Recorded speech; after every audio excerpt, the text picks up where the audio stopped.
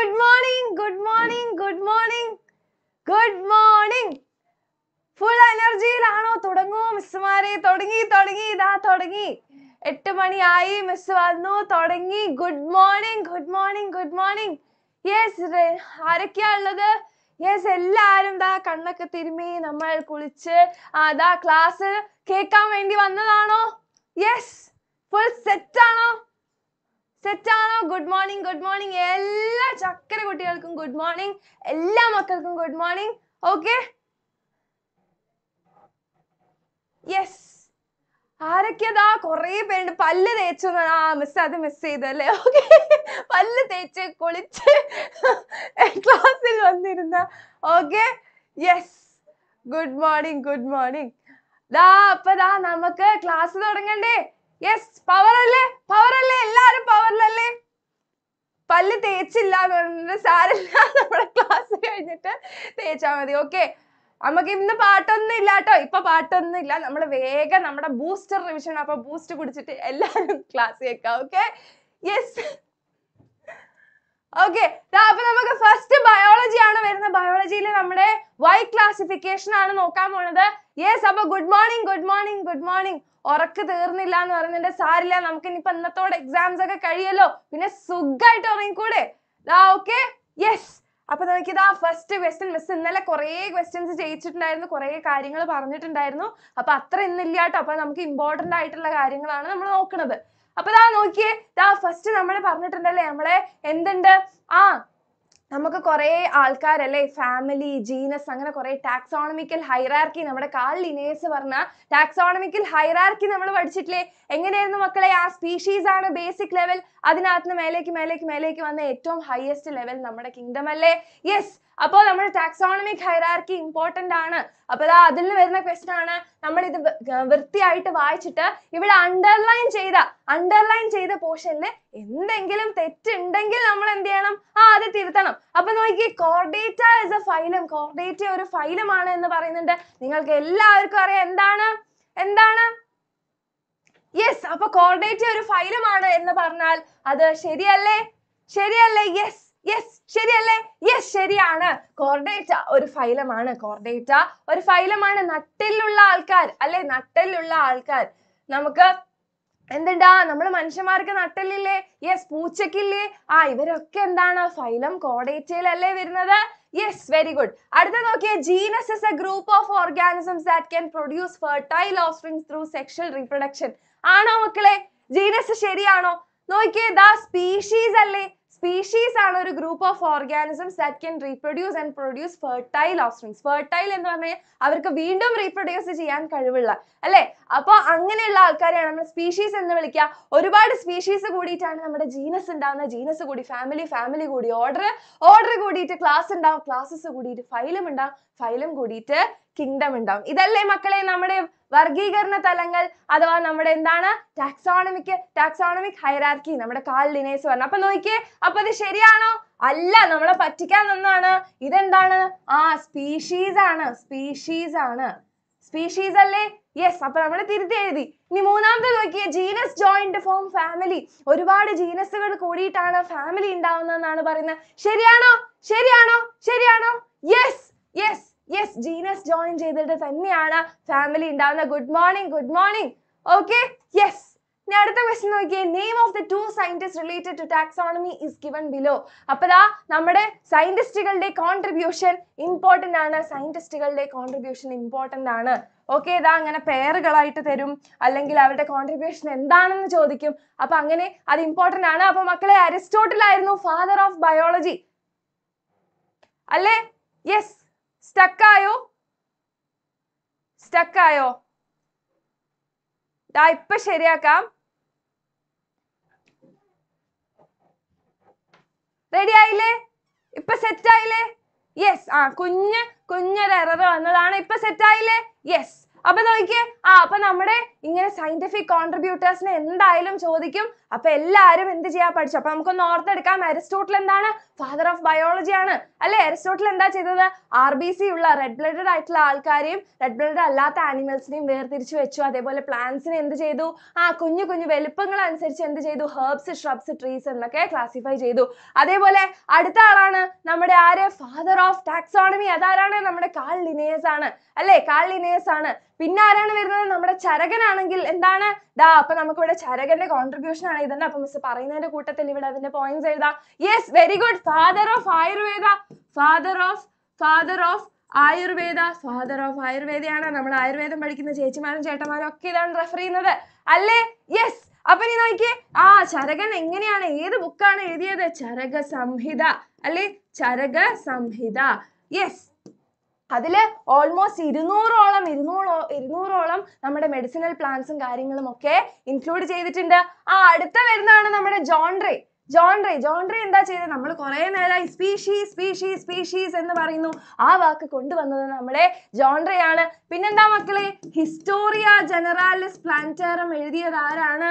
ആരാണ്? നമ്മുടെ ജോൺറിയാണ് generalis Plantarum എഴുതിയത് നമ്മുടെ ജോൺട്രിയാണ്. യെസ് അതിൽ ഓൾമോസ്റ്റ് എയ്റ്റീൻ തൗസൻഡ് ഓർഗാനിസംസ് ഉണ്ടായിരുന്നു അല്ലേ? Yes yes yes yes yes very good very good പിന്നെ ആരെയാ നമ്മൾ വിട്ടുപോയത്? ആ തിയോഫ്രാസ്റ്റസ് ഇല്ലേ? തിയോഫ്രാസ്റ്റസ് ഫാദർ ഓഫ് ബോട്ടണി അല്ലേ? ഫാദർ ഓഫ് ബോട്ടണി ആണ്. തിയോഫ്രാസ്റ്റസ് ഫാദർ ഓഫ് ബോട്ടണി പബ്ജിയിൽ തീ വെച്ച് ബോട്ടിനെ കൊന്നു എന്നൊക്കെ പറഞ്ഞ് മിസ് കോഡ് പറഞ്ഞിട്ടുണ്ടായിരുന്നു. നിങ്ങൾ കണ്ടോന്ന് മിസ്സിന് അറിയില്ല. ഓക്കെ യെസ് അപ്പൊ തിയോഫ്രാസ്റ്റസ് ഫാദർ ഓഫ് ബോട്ടണി എന്താ ചെയ്ത പ്ലാന്റ്സിനെ ആനുവൽസ് ബൈനിയസ് പെർനിയസ് എന്ന് പറഞ്ഞ് ക്ലാസിഫൈ ഒക്കെ ചെയ്തു. അല്ലേ? യെസ് അപ്പൊ മിസ് ഏതെങ്കിലും സയന്റിസ്റ്റിന്റെ പേര് പറയാൻ വിട്ടുപോയിട്ടുണ്ടോ? ഉണ്ടോ? യെസ് അപ്പൊ ദാ അടുത്ത നോക്കിയേ. ആ ഇനി നമുക്ക് എന്തുണ്ട്? ബൈനോമിയൽ നോമൻക്ലേച്ചർ അല്ലെ? ബൈനോമിയൽ നോമൻക്ലേച്ചർ ഉണ്ട്. യെസ് അതന്നെ മിസ് ഒരു കോഡ് പറഞ്ഞു തന്നിട്ടുണ്ട്. അത് മിസ് നമ്മുടെ ചാനലിലെ ഷോർട്സിൽ അത് കിടക്കുന്നുണ്ട് കേട്ടോ. ഓക്കെ ആ ഞാനും ഗായത്രി മിസ്സും കൂടെ ഒരു ഷുവർ ഷോർട്ട് ക്വസ്റ്റ്യന്റെ വീഡിയോസ് പോകുന്നതിന് അനൗൺസ്മെന്റ് ഷോർട്ടിൽ അതുണ്ട്. ഓക്കെ ആ പോയി നോക്കിയാൽ മതി. കാർ ടാക്സ് അടയ്ക്കാതെ ആ എന്താണ് പബ്ജിയിൽ തീ വെച്ച് ബോട്ടിനെ കൊന്നു എന്നൊക്കെ പറഞ്ഞിട്ട് മിസ് ഒരു കോഡ് വെച്ചിട്ടുണ്ട്. അപ്പൊ അത് നോക്കിയാൽ മതി കേട്ടോ ഓക്കെ യെസ് അപ്പൊ ഇതാ നോക്കിയേ അരിസ്റ്റോട്ടിൽ മിസ് പറഞ്ഞു. Aristotle father of biology miss പറഞ്ഞു. ഓക്കെ യെസ് അടുത്ത നോക്കിയോ? നമ്മുടെ ബൈനോമിയൽ നോമൻക്ലേച്ചർ കാൾ ലിനേസ് പറഞ്ഞ ബൈനോമിയൽ നോമൻക്ലേച്ചർ എന്തിനാണ്? മക്കളെ ആ ഓരോ സ്ഥലത്ത് പല സ്ഥലത്ത് പല പ്രദേശങ്ങളിൽ പല ഓർഗാനിസംസിന് പല പേരുകളാവുമ്പോൾ നമുക്ക് ഭയങ്കര ബുദ്ധിമുട്ടാണ്. ആ ഡിഫിക്കൽട്ടീസ് ഒഴിവാക്കാനാണ് നമ്മുടെ കാൾ ലിനേസ് ബൈനോമിയൽ നോമൻക്ലേച്ചർ കൊണ്ടുവന്നത്. അഥവാ നമ്മുടെ ദ്വിനാമ പദ്ധതി കൊണ്ടുവന്നത്. എല്ലാ സ്ഥലത്തും ഒരേ പേരായി കോമൺ നെയിമിംഗ് അല്ലെ? എല്ലാവരും ആക്സെപ്റ്റ് ചെയ്ത ഒരു കോമൺ നെയിമിംഗ് മെത്തേഡ് അല്ലെങ്കിൽ ഒരു സയന്റിഫിക് നെയിമിംഗ് മെത്തേഡ് അല്ലെ? ശാസ്ത്രീയ നാമകരണ മെത്തേഡ് ആണ് എന്ത് നമ്മുടെ ബൈനോമിയൽ നോമൻക്ലേച്ചർ അഥവാ ദ്വിനാമ പദ്ധതി അല്ലെ അപ്പൊ ദാ അവിടെ നോക്കിയാൽ നമ്മുടെ ടൈഗറിന്റെ സയന്റിഫിക് നെയിം പാന്തറ ടൈഗ്രസ് എന്നാണ് നിങ്ങളുടെ ടെക്സ്റ്റിൽ തന്ന ആനിമൽസിന്റെ സയന്റിഫിക് നെയിം എന്തായാലും നോക്കി വെക്കുക കേട്ടോ. ഓക്കെ ദാ അപ്പൊ നമ്മുടെ scientific name of tiger Panthera tigris എന്ന് പറഞ്ഞിട്ടുണ്ട്. അപ്പൊ അതിൽ പാന്തറ എന്തിനെയാണ് മക്കളെ ഇൻഡിക്കേറ്റ് ചെയ്യുന്നത്? ഏത് ടാക്സോണമിക് ലെവലിനെയാണ് യെസ് ജീനസിനെയാണ് ജീനസിനെയാണ് പാന്തറ ഇൻഡിക്കേറ്റ് ചെയ്യുന്നത്. അതേപോലെ ടൈഗ്രസ് എന്ന് പറയുന്നത് എന്താണ്? സ്പീഷീസ് ആണ്. സ്പീഷീസ് ആണ്. യെസ് അപ്പൊ name the scientist what are the advantages എന്ന് നമ്മൾ പറഞ്ഞു. അല്ലെ? എല്ലാ സ്ഥലത്ത് പോയാലും ഒരേ പേരായിരിക്കും അത് നമ്മൾ പറഞ്ഞു. Name the scientist who propose scientific naming of organisms ആരാണ് നമ്മൾ ഓൾറെഡി പറഞ്ഞു. ആരാണ്? കാൾ ലിനേസ് കാൾ ലിനേസ് ആണ് ബൈനോമിയൽ നോമൻക്ലേച്ചർ കൊണ്ടുവന്നത്. സെറ്റ് അല്ലേ? യെസ് ദാ അടുത്ത നോക്കിയോ. ഇതിലോ എന്തൊക്കെയോ തെറ്റുണ്ടെങ്കിൽ നമ്മൾ മാറ്റണം okay yes Aristotle is known as the father of botany അല്ല നമുക്കറിയാം അല്ലെ? നമ്മൾ നേരത്തെയും കൂടെ പറഞ്ഞിട്ടേ ഉള്ളൂ. ആരാണ്? തിയോഫ്രാസ്റ്റസ് ആണ്. തിയോഫ്രാസ്റ്റസ് ആണ് മാറ്റി. പിന്നെ നോക്കിയേ Monera includes unicellular organism with distinct nucleus ആണോ മക്കളെ? Five kingdom classification R H Whittaker പറഞ്ഞ ഫൈവ് കിങ്ഡത്തിൽ നമ്മുടെ മൊണേറ മൊണേറയിലാണോ യൂണിസെല്ലാർ വിത്ത് ന്യൂക്ലിയസ് അല്ല മൊണേറയിൽ യൂണിസെല്ലാർ വിത്തൗട്ട് ന്യൂക്ലിയസ് ആണ്. ഇതാരാണ്? പ്രൊട്ടിസ്റ്റയാണ് ആണ് പ്രൊട്ടിസ്റ്റ ആണ് ന്യൂക്ലിയസ് ഉള്ള ഏകകോശ ജീവികൾ പ്രൊട്ടിസ്റ്റയാണ് യെസ് ഇനി ഫൈക്കിംഗ് kingdom classification R S Whittaker ആണോ പറഞ്ഞത്? ആണ് മിസ് ഓൾറെഡി പറഞ്ഞു. അല്ലേ? യെസ് കാൽവൂസ് പറഞ്ഞത് സിക്സ് കിങ്ഡം ആണ്. സെറ്റ് അല്ലേ? യെസ് ഞാൻ നോക്കിയോ identify and write the levels of classification phylum which includes human beings മനുഷ്യന്മാർ ഉൾപ്പെടുന്ന ഫൈലം ആ മനുഷ്യന്മാർ എന്ന് കണ്ടാൽ തന്നെ എന്തുണ്ട്? നട്ടലുണ്ട്. അപ്പൊ നമുക്ക് എന്ത് എഴുതാം മക്കളെ? ഫൈലം കോഡേറ്റ എന്ന് എഴുതാം. അല്ലേ? Yes family which includes animals with withdrawal withdrawable claws ദാ നഖങ്ങൾ ഉള്ളോട്ട് വലിക്കാൻ പറ്റുന്ന ഏതാ മക്കളെ? ഏതാണ്? യെസ് ഫെലിഡേ ഫെലിഡേ ഫെലിഡേ കിട്ടിയില്ലേ? Yes class which includes lion and rabbit ലയണും റാബിറ്റും ഒക്കെ എന്താണ്? പാലൂട്ടുന്ന ആൾക്കാരാണ്. അപ്പൊ ഏതാണ്? മെമേലിയ അപ്പൊ ദാ നമ്മുടെ ടാക്സോണമിക് ഹൈറാർക്കി ഒക്കെ വീണ്ടും വരുന്നുണ്ട്. അതൊക്കെ നോക്കി വെക്കണം. പിന്നെ ദാ നോക്കിയേ. ആ ഇവിടെ കുറച്ച് പേയേഴ്സ് ഉണ്ട്. നമുക്ക് ഒരു പേർ അവർ തന്നിട്ടുണ്ട്. എം ജെ സ്ക്ലീഡൻ എന്ന് പറയുമ്പോൾ ഡിസ്കവറി ഓഫ് പ്ലാന്റ്സ് ആണെന്ന് പറഞ്ഞിട്ടുണ്ട്. അടുത്ത ആൾ ജോൺട്രി ഉണ്ട്. നമുക്കറിയാം ജോൺട്രി ആണ് സ്പീഷീസ് എന്ന വാക്ക് കൊണ്ടുവന്നത്. അതുകൊണ്ട് ഇതാണ് ഒരു പേര് അടുത്ത പേര് നോക്കുകയാണെങ്കിൽ എന്താണ് മക്കളെ? ആ റോബർട്ട് എച്ച് വിറ്റേക്കർ ഒറ്റയ്ക്കാണ്. അപ്പൊ അതുകൊണ്ട് അത് നമുക്ക് വേണ്ട. Carl Woese six kingdom classification കിട്ടിയോ? യെസ് യെസ് സെറ്റല്ലേ സെറ്റല്ലേ സെറ്റല്ലേ യെസ് ഇതാ ദാ നോക്കിയേ? നമ്മുടെ ലാസ്റ്റ് ക്വസ്റ്റ്യൻ ലാസ്റ്റ് ക്വസ്റ്റ്യൻ നോക്കിയോ? നമ്മുടെ സിക്സ് കിങ്ഡം ക്ലാസിഫിക്കേഷൻ അല്ലേ? നമ്മുടെ കാൽ വൂസ് കൊണ്ടുവന്ന കാൽ വൂസ് കൊണ്ടുവന്ന കാൽ വൂസ് കൊണ്ടുവന്ന സിക്സ് കിങ്ഡം ക്ലാസിഫിക്കേഷൻ എങ്ങനെയാണ്? ആ നമുക്ക് കിങ്ഡത്തിന്റെ മേലെ ഒരാളും കൂടെ വന്നു ഡൊമെയിൻ വന്നു അല്ലെ? കിങ്ഡത്തിന്റെ മേലെ ഒരു ലെവലും കൂടെ വന്നു ഡൊമെയിൻ അപ്പൊ നമ്മുടെ പ്രോ കാരിയോട്സ് ആയിട്ടുള്ള അതായത് ബാക്ടീരിയകൾ സെൽ സെല്ലിൽ ന്യൂക്ലിയസ് ഇല്ലാത്ത ആൾക്കാരൊക്കെ എവിടെ വന്നു? ആ ഇവിടെ ഈ രണ്ട് ഡൊമെയിനിൽ വന്നു. അല്ലെ? ഡൊമെയിൻ ബാക്ടീരിയയിൽ വരുന്നത് എപ്പോഴും ആരാണ്? കിങ്ഡം ബാക്ടീരിയ പിന്നെ ഡൊമെയിൻ ആർക്കിയയിൽ വരുന്ന ആരാണ്? ഡൊമെയിൻ ആർക്കിയ അല്ലേ? സെറ്റ് അല്ലേ? ആ ഇവർ ബാക്കിയുള്ളവരൊക്കെ ആരാണ്? ന്യൂക്ലിയസ് ഉള്ള സെല്ലുള്ള ആൾക്കാരല്ലേ. അവരെ നമ്മൾ എന്താ പറയാ മക്കളെ? യു കാരിയോട്സ് എന്നല്ലേ പറയാ. അപ്പൊ ഈ ഡൊമെയിന്റെ പേരെന്താണ്? ആ നമ്മുടെ ഡൊമെയിൻ യു കാരിയ കിട്ടിയോ? അതിലൊരാൾ മിസ്സിംഗ് ആണ്. ആരാണത്? നമ്മുടെ പ്രൊട്ടിസ്റ്റ കുട്ടൻ. കിട്ടിയോ? യെസ് അപ്പോ എല്ലാവർക്കും സെറ്റ് അല്ലേ? അപ്പൊ നമ്മുടെ ഫൈവ് കിങ്ഡം ക്ലാസിഫിക്കേഷൻ നോക്കുക സിക്സ് കിങ്ഡം ക്ലാസിഫിക്കേഷൻ നോക്കുക ടാക്സോണമിക് ഹൈറാർക്കി നോക്കുക. ട്ടോ പിന്നെ നമ്മുടെ ബൈനോമിയൽ നോമൻ ക്ലേച്ചർ നോക്കുക. എന്തായാലും ഇവരൊക്കെ നോക്കിയിട്ട് പോവാ. പിന്നെ നമ്മുടെ സയന്റിഫിക് നെയിംസ് കുറച്ചെണ്ണം നോക്കിയിട്ട് പോവാ. സെറ്റ് അല്ലേ? അപ്പൊ എക്സാമിന് എല്ലാവർക്കും ഓൾ ദി ബെസ്റ്റ് തകർത്ത് എഴുതാ അടിപൊളിയായിട്ട് എഴുതിയിട്ട് വരാട്ടോ അപ്പൊ ഓൾ ദി ബെസ്റ്റ് അപ്പൊ അതാ അടുത്ത നമ്മുടെ ലെറ്റ്സ് റീഗെയിൻ ആർ ഫീൽസ് എന്ന ചാപ്റ്റർ അടിപൊളിയായിട്ട് നിങ്ങളെ പഠിപ്പിച്ചു തരാൻ വേണ്ടിയിട്ട് നമ്മൾ മിസ് ഗായത്രി മിസ്സിനെ വിളിച്ചോണ്ട് വരാം. പാട്ട് ഇപ്പൊ ഇല്ല. നമുക്ക് അടുത്ത ക്ലാസ്സിൽ രണ്ട് മൂന്ന് നാല് പാട്ട് പാടാം കേട്ടോ. അപ്പൊ okay all the best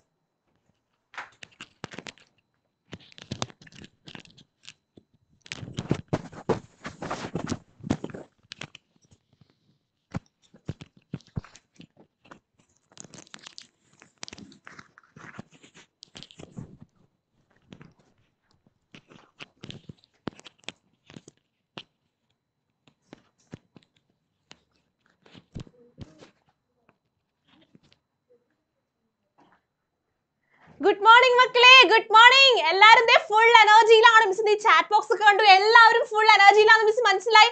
അതേ പവറോട് കൂടി നമ്മൾ ലെറ്റ്സ് റീഗെയിൻ അവർ ഫീൽഡ്സ് പഠിക്കാണ്. എല്ലാ മക്കൾക്കും ഗുഡ് മോർണിംഗ് അപ്പൊ നമുക്ക് എന്ത് ചെയ്യാം? നമ്മുടെ ഈ ഒരു ചാപ്റ്റർ ഇമ്പോർട്ടന്റ് ചാപ്റ്റർ ആണ് നമുക്ക് അടിപൊളിയായിട്ട് പെട്ടെന്ന് ഡിസ്കസ് ചെയ്യാം കേട്ടോ യെസ് ഓക്കെ അപ്പൊ നമ്മുടെ ഫസ്റ്റ് ക്വസ്റ്റ്യൻ വരുന്നുണ്ട്. അപ്പൊ അറിയാവുന്നവരൊക്കെ ചാടിക്കേറി പറഞ്ഞ എന്താണ് മലബാറി എന്ന് പറയുന്നത് ഗോട്ട് ആണെങ്കിൽ മക്കളെ മുറ എന്താണ്? മുറ എന്ന് പറയുന്നത് എന്തിന്റെ വെറൈറ്റി ആണ്? മലബാറി ആടിന്റെ ഇനമാണെങ്കിൽ മുറ എന്താ മക്കളെ? ബഫെല്ലോ ആണ് അല്ലെ? ബഫെല്ലോ അല്ലെങ്കിൽ എന്താണ്? എരുമയാണ്. അപ്പൊ ഇതുപോലെ വെറൈറ്റീസിന്റെ പേര് വെച്ചിട്ട് മിസ് ഇന്നലെയും ക്വസ്റ്റ്യൻ ഇട്ടിരുന്നു. ഇന്നും ദേ മിസ് ക്വസ്റ്റ്യൻ ആയിട്ട് വന്നിട്ടുണ്ട്. ബഫെല്ലോസ് അപ്പൊ ഇതുപോലെ വെറൈറ്റീസിന്റെ പേര് വെച്ചിട്ട് നമുക്ക് എന്ത് ചെയ്യും? ക്വസ്റ്റ്യൻസ് വരും. അപ്പൊ ഇതൊന്നും വിടരുത്. എക്സാമ്പിൾസ് നോക്കിയിട്ട് എല്ലാവരും എക്സാമിന് പോവാട്ടോ യെസ് അപ്പൊ അടുത്തൊരു ക്വസ്റ്റ്യൻ ഉണ്ട്. Identify and write the high tech farming method illustrate above ചിത്രത്തിൽ കാണിച്ചിരിക്കുന്ന ഹൈടെക് കൃഷി രീതി തിരിച്ചറിഞ്ഞ് എഴുതുക. ഇത് ഏതാണ് മക്കളെ? ഈ ഹൈടെക് കൃഷി രീതി. യെസ് ഏതാണ് ഈ ഹൈടെക് കൃഷി രീതി എന്ന് പറയുന്നത്? നമ്മളുടെ ആ ഇതാണ് poly house farming very good very good poly house farming ആണ് നമ്മൾ ഈ കാണുന്ന കൃഷി രീതി അല്ലെ? പോളി ഹൗസ് ഫാമിംഗ് ആണ്. അപ്പൊ അങ്ങനെയാണെങ്കിൽ what are the benefits of this farming method ഇത് ചെയ്യുന്നതുകൊണ്ട് എന്തൊക്കെയാ ഗുണം? നമ്മുടെ പോളി ഹൗസ് ഫാമിംഗ് എന്ന് പറഞ്ഞാൽ എന്താ? ഒരു പോളിത്തീൻ ഷീറ്റ് കെട്ടിട്ട് അതിന്റെ അകത്താണ് നമ്മൾ കൃഷി ചെയ്യുന്നത് അല്ലെ? അപ്പൊ അവിടെ എന്തായിരിക്കും? എപ്പോഴും ടെമ്പറേച്ചറും അതേപോലെ തന്നെ ഹ്യൂമിഡിറ്റി അല്ലെ താപനില ഈർപ്പം ഇതെങ്ങനെയായിരിക്കും? കോൺസ്റ്റന്റ് ആയിരിക്കും അല്ലെ? അപ്പൊ ടെമ്പറേച്ചർ ഹ്യൂമിഡിറ്റി താപനില ഈർപ്പം ഇത് രണ്ടും എങ്ങനെയായിരിക്കും? കോൺസ്റ്റന്റ് ആയിരിക്കും അല്ലെ കോൺസ്റ്റന്റ് ആയിരിക്കും സ്ഥിരമായിട്ട് നിലനിൽക്കും. അതുപോലെ തന്നെ നമ്മൾ ഈ പോളിത്തീൻ ഷീറ്റിന്റെ അകത്താണ് ചെടികൾ വളർത്തുന്നത് അല്ലെ കൃഷി ചെയ്യുന്നത്. സോ അവിടെ ആര് വരില്ല? പെസ്റ്റുകൾ വരില്ല കീടങ്ങൾ വരില്ല. അപ്പോ പെസ്റ്റ് അറ്റാക്ക് എങ്ങനെയായിരിക്കും? പെസ്റ്റ് അറ്റാക്ക് ലോ ആയിരിക്കും അല്ലെങ്കിൽ നമുക്ക് എന്ത് പറയാം? ആ കീടങ്ങളുടെ ശല്യം ഉണ്ടാവില്ല എന്ന് പറയാം. ഓക്കെ ആ യെസ് വെരി ഗുഡ് ഇത് രണ്ടുമാണ് മെയിൻ ആയിട്ട് നമ്മുടെ പോളി ഹൗസ് ഫാമിങ്ങിന്റെ ഗുണങ്ങളായിട്ട് നമുക്ക് പറയാൻ പറ്റുന്നത് കേട്ടോ. അപ്പൊ ഇതെന്താണ് ഒരു ഹൈടെക് കൃഷി രീതിയാണ്. പോളത്തീൻ ഷീറ്റിന്റെ അകത്താണ് നമ്മൾ കൃഷി ചെയ്യുന്നത്. അപ്പൊ പോളത്തീൻ ഫാമിങ്ങിന്റെ ഒക്കെ എന്താണ്? ഇങ്ങനത്തെ ഒരു പടം കാണിച്ചിട്ട് ചോദിച്ചാലും മക്കൾ എന്ത് ചെയ്യണം? തെറ്റിക്കാണ്ട് എഴുതണം കേട്ടോ. യെസ് വെരി ഗുഡ് അങ്ങനെയാണെങ്കിൽ ഇത് അടുത്തൊരു ക്വസ്റ്റൻ ഉണ്ട്. Write the name of two bacteria present in the microbial fertilisers applied by farmers to increase nitrogen content അപ്പൊ മണ്ണിലെ നൈട്രജന്റെ അളവ് വർദ്ധിപ്പിക്കാനായിട്ട് കർഷകർ ഉപയോഗിക്കുന്ന ജീവാണു വളങ്ങളിൽ അടങ്ങിയിരിക്കുന്ന ഏതെങ്കിലും രണ്ട് ബാക്ടീരിയകളുടെ പേര് എഴുതുക. ഏതൊക്കെയാ മക്കളെ? Yes very good Azotobacter ഉണ്ട്. അല്ലെ? അസറ്റോ ബാക്ടർ ഉണ്ട്. അസറ്റോ ബാക്ടർ ഉണ്ട്. പിന്നെ ഏതൊക്കെയാണ്? യെസ് റൈസോബിയം ഉണ്ട്. റൈസോബിയം ഉണ്ട് ആസോസ്പിറില്ലം ഉണ്ട് ഓക്കെ അപ്പൊ അസറ്റോ ബാക്ടർ ഉണ്ട് റൈസോബിയം ഉണ്ട്. ആസോസ്പിറില്ലം ഉണ്ട് അപ്പൊ ഇത് പേര് എന്തായാലും നോട്ട് ചെയ്തിട്ട് പോവാ ക്വസ്റ്റ്യൻ വരും കേട്ടോ അപ്പൊ ഇമ്പോർട്ടന്റ് ആണ് നമ്മുടെ മൈക്രോബിയൽ ഫെർട്ടിലൈസേഴ്സ് അല്ലെങ്കിൽ ജീവാണുക്കൾ അടങ്ങിയ വളങ്ങൾ ഇമ്പോർട്ടന്റ് ആണ് നോക്കിയിട്ട് പോവാ. ഓക്കെ സെറ്റ് അടുത്തൊരു question what is the common feature of varieties given in the box അപ്പൊ ബോക്സിൽ നൽകിയിരിക്കുന്ന ഞങ്ങളുടെ പൊതു സവിശേഷത എന്താണ്? മൂവാണ്ടൻ ഉണ്ട് വെച്ചൂർ ഉണ്ട് ഞാലിപ്പൂവനുണ്ട് മലബാറിയൊക്കെ ഉണ്ട്. അപ്പൊ ഇതൊക്കെ എന്താണ്? ഈ പറയുന്ന വെറൈറ്റീസിന്റെ എന്താണ് ഒരു പൊതു സവിശേഷത കോമൺ ഫീച്ചർ എന്ന് പറഞ്ഞ എന്താണ്? മൂവാണ്ടൻ വെച്ചൂർ ഞാലിപ്പൂവൻ മലബാർ ഇതൊക്കെ എന്താണ് മക്കളെ? ഇതൊക്കെ നമ്മളുടെ നാടൻ ഇനങ്ങളാണ്. അല്ലെ? ഇവരെങ്ങനെയുള്ള ആൾക്കാരാണ്? നേറ്റീവ് വെറൈറ്റീസ് ആണ്. ഇവരെങ്ങനെയുള്ള ആൾക്കാരാണ്? നേറ്റീവ് വെറൈറ്റീസ് അല്ലെങ്കിൽ നാടൻ ഇനങ്ങളാണ്. അപ്പൊ അങ്ങനെയാണെങ്കിൽ ഒരു question it is it essential to retain this varieties why അപ്പൊ ഇത്തരം ഇനങ്ങളെ സംരക്ഷിക്കേണ്ടതിന്റെ ആവശ്യകതയുണ്ടോ? നമ്മുടെ നാടൻ ഇനങ്ങളെ നമ്മൾ സംരക്ഷിക്കണോ? വേണം അല്ലെ? നാടിനെ നിങ്ങൾ നമ്മൾ സംരക്ഷിക്കണം. എന്തുകൊണ്ടാണ്? ആ നമ്മുടെ നാട്ടിലെ വെറൈറ്റീസ് നാടൻ വെറൈറ്റീസ് എന്ന് പറയുന്നത് നമ്മളുടെ ജൈവ സമ്പത്താണ് നമ്മളുടെ ബയോളജിക്കൽ വെൽത്ത് ആണ്. അപ്പൊ ഇവരെ സംരക്ഷിച്ചില്ലെങ്കിൽ എന്താണ്? നമ്മളുടെ ബയോളജിക്കൽ വെൽത്ത് നഷ്ടപ്പെടും. അതുപോലെ തന്നെ നല്ല ഹൈ ക്വാളിറ്റി ഉള്ള നല്ല ഗുണമേന്മയുള്ള പുതിയ വെറൈറ്റീസിനെയൊക്കെ നമുക്ക് ഉണ്ടാക്കിയെടുക്കണമെങ്കിൽ അതിന് ആര് വേണം? നമ്മളുടെ നാടൻ വെറൈറ്റീസ് വേണം. അപ്പൊ നമ്മൾ എങ്ങനെയാണ് അതിന്റെ ആൻസർ ചെയ്താ നമുക്ക് പറയാം extinction of indigenous varieties indigenous എന്ന് പറഞ്ഞത് നാടൻ വെറൈറ്റീസ് അല്ലെ? Causes depletion of our biological wealth നമ്മുടെ എന്താണ് ജൈവ സമ്പത്ത് നഷ്ടപ്പെടും അല്ലെ? We can develop new high quality varieties only from indigenous varieties that can survive challenges of adverse climatic conditions. അപ്പൊ കാലാവസ്ഥ വ്യതിയാനമൊക്കെ സഹിച്ചിട്ട് അതൊക്കെ ടോളറേറ്റ് ചെയ്തിട്ട് വളരാൻ കഴിവുള്ള പുതിയ ഓക്കെ നല്ല ഗുണമേന്മയുള്ള വെറൈറ്റീസ് നമുക്ക് എവിടെ നിന്ന് ഉണ്ടാക്കാൻ പറ്റുള്ളൂ? നാടൻ വെറൈറ്റീസിൽ നിന്നേ ഉണ്ടാക്കാൻ പറ്റുള്ളൂ. അപ്പൊ എന്തായാലും നമ്മൾ എന്ത് ചെയ്യണം? നമ്മളുടെ നേറ്റീവ് വെറൈറ്റീസ് അല്ലെങ്കിൽ നാടൻ വെറൈറ്റീസിന് എന്ത് ചെയ്യും സംരക്ഷിക്കണം. ഓക്കെ അപ്പൊ എന്താണ്? ഇറ്റ് ഈസ് നെസസറി എന്ന് ചോദിച്ചിട്ടുണ്ട്. അപ്പൊ അതിന്റെ ആൻസർ എന്താണ്? യെസ് അപ്പൊ വൈഡ് ഉത്തരാണ് മിസ് ഇതേ സ്ലൈഡിൽ കൊടുത്തിട്ടുള്ളത്. ഓക്കെ അപ്പൊ അവർ നമ്മുടെ ജൈവ സമ്പത്താണ് അത് ശോഷിക്കും. അല്ലെ? നമ്മൾ അവരെ സംരക്ഷിച്ചില്ലെങ്കിൽ നമ്മുടെ ജൈവ സമ്പത്ത് ശോഷിക്കും. എന്ന് നോക്കാം. Suggest any two modern farming techniques that enable farming without being affected by adverse climatic changes. അപ്പൊ കാലാവസ്ഥയിലെ മാറ്റം ദോഷകരമായി ബാധിക്കാതെ കൃഷി സാധ്യമാക്കുന്ന രണ്ട് ആധുനിക കൃഷി രീതികൾ ഏതൊക്കെയായിരുന്നു? നമ്മൾ ഇന്നലെ പറഞ്ഞിരുന്നു ഓർക്കുന്നുണ്ടോ? കാലാവസ്ഥ മാറിയാലും ഇത് കൃഷിയെ ബാധിക്കില്ല. അങ്ങനെയുള്ളത് ഏതൊക്കെയാണ്? യെസ് വെരി ഗുഡ് ഏതാണ് മക്കളെ? പോളി ഹൗസ് ഫാമിംഗ് ഉണ്ട്. ഓക്കെ പോളി ഹൗസ് ഫാമിംഗ് ഉണ്ട്. പിന്നെ ഏതൊക്കെയാണ്? പോളിഹൗസ് കൃഷി ഉണ്ട് പിന്നെ നമുക്ക് പറയാം ആ എയറോപോണിക്സ് ഉണ്ട്. എയറോപോണിക്സ് ഉണ്ട്. ഹൈഡ്രോപോണിക്സ് ഉണ്ട് അല്ലെ? അപ്പൊ പോളി ഹൗസ് ഫാമിംഗിൽ നമ്മൾ പോളിത്തീൻ ഷീറ്റിന്റെ അകത്താണ് കൃഷി ചെയ്യുന്നത്. അപ്പൊ കാലാവസ്ഥ മണ്ണ് ബാധിക്കുന്നില്ല. ഹൈഡ്രോപോണിക്സും എയറോപോണിക്സും നമ്മൾ എന്താണ്? ഫീൽഡിലല്ല ചെയ്യുന്നത്. അവരൊക്കെ ഇൻഡോർ ആയിട്ടാണ് നമ്മൾ ചെയ്യുന്നത് അല്ലെ? ഹൈഡ്രോപോണിക്സ് എയറോപോണിക്സും നമ്മൾ എവിടെയല്ല? ഫീൽഡിലല്ല വിളനിലങ്ങളിലല്ല ചെയ്യുന്നത്. അപ്പൊ അതുകൊണ്ട് കാലാവസ്ഥയിൽ മാറ്റം വന്നാലും അത് ഈ പറയുന്ന കൃഷി രീതികൾ എന്ത് ചെയ്യുന്നില്ല? ബാധിക്കുന്നില്ല. നോട്ട് ചെയ്യണേ? യെസ് അപ്പൊ അങ്ങനെയാണെങ്കിൽ ഒരു question statement related to pest control is given below analyse it and answer the questions instead of total destruction of pest prevent the multiplication of pest അതായത് എന്താണ്? മുഴുവൻ കീടങ്ങളെയും കൊന്നൊടുക്കുക എന്നതിന് പകരം കീടങ്ങളുടെ പേരുകൾ തടയുന്നു. ഏതാണ് മക്കളെ ഈ കീട നിയന്ത്രണ രീതി? ഏത് പെസ്റ്റ് കൺട്രോൾ മെത്തേഡ് ആണ് ഇവിടെ മെൻഷൻ ചെയ്തിരിക്കുന്നത്? യെസ് വെരി ഗുഡ് ഏതാണ്? ഐ പി എം അല്ലെ? എന്താണ് ഐ പി എം എന്ന് പറഞ്ഞിട്ടുണ്ടെങ്കിൽ ഇന്റഗ്രേറ്റഡ് പെസ്റ്റ് മാനേജ്മെന്റ് അല്ലെ? അതായത് സംയോജിത കീട നിയന്ത്രണ മാർഗമാണ് നമ്മളിവിടെ പറഞ്ഞിരിക്കുന്നത്. ഇന്റഗ്രേറ്റഡ് പെസ്റ്റ് മാനേജ്മെന്റ് അല്ലെങ്കിൽ സംയോജിത കീട നിയന്ത്രണ മാർഗമാണ്. ഇവിടെ നമ്മൾ പറയുന്നത് so write any two pest control measures related to this method അപ്പൊ ഇതുമായിട്ട് ബന്ധപ്പെട്ട് വരുന്ന രണ്ട് രീതികൾ രണ്ട് കീട നിയന്ത്രണ രീതികൾ ഏതൊക്കെയാണ്? നമ്മൾ എന്താ ചെയ്യുന്നത്? ഇന്റഗ്രേറ്റഡ് പെസ്റ്റ് മാനേജ്മെന്റിൽ ആ യെസ് വെരി ഗുഡ് എന്തൊക്കെയാണ്? ഒന്നല്ലെങ്കിൽ നമുക്ക് എന്ത് ചെയ്യാം? ബയോളജിക്കൽ പെസ്റ്റിസൈഡ്സ് അല്ലെ? യൂസിങ് ബയോ പെസ്റ്റിസൈഡ്സ് ജൈവ വളങ്ങൾ ഉപയോഗിക്കാം അല്ലെ? യൂസിങ് ബയോ പെസ്റ്റിസൈഡ്സ് ജൈവ വളങ്ങൾ നമുക്ക് ഉപയോഗിക്കാൻ പറ്റും. പിന്നെ നമ്മൾക്ക് എന്താ ചെയ്യാൻ പറ്റാ? യെസ് ജൈവ വളങ്ങൾ ഉപയോഗിക്കാൻ പറ്റും. പിന്നെ മെക്കാനിക്കൽ പെസ്റ്റ് കൺട്രോൾ ചെയ്യാം അല്ലെ? മെക്കാനിക്കൽ പെസ്റ്റ് കൺട്രോൾ ചെയ്യാം അതായത് എന്താണ്? യാന്ത്രിക കീട നിയന്ത്രണം അല്ലെ? നമ്മൾ എന്തെങ്കിലും വെയിലൊക്കെ കെട്ടിക്കൊടുക്കുക ഫെൻസ് ഒക്കെ കെട്ടിക്കൊടുക്കുക യാന്ത്രികമായിട്ട് കീടങ്ങളെ നിയന്ത്രിക്കുക. ഓക്കെ അപ്പൊ രണ്ടെണ്ണമേ ചോദിച്ചിട്ടുള്ളൂ. എന്നാലും പറയാം പിന്നെ എന്തൊക്കെയാണ് നമുക്ക്? ആ എനിമീസ് ഓഫ് പെസ്റ്റുകൾ ഉപയോഗിക്കാം അല്ലെ? എനിമീസ് ഓഫ് പെസ്റ്റ് അതായത് നമ്മുടെ കീടങ്ങളെ കഴിക്കുന്ന അവരുടെ ശത്രുക്കൾ ഉണ്ടാകും അവരെയൊക്കെ നമ്മൾക്ക് എന്ത് ചെയ്യാം? നമ്മുടെ കൃഷിക്ക് വേണ്ടിയിട്ട് ഉപയോഗിക്കാം. അപ്പൊ ഏതെങ്കിലും രണ്ട് മെത്തേഡ്സ് പറയാ. അതൊക്കെ എന്താണ്? നമ്മുടെ ഇന്റഗ്രേറ്റഡ് പെസ്റ്റ് മാനേജ്മെന്റ് അല്ലെങ്കിൽ സംയോജിത കീട നിയന്ത്രണ മാർഗത്തിൽ വരുന്നതാണ്. ഏതൊക്കെയാണ്? ആ ജൈവ വളങ്ങൾ ഉപയോഗിക്കുക.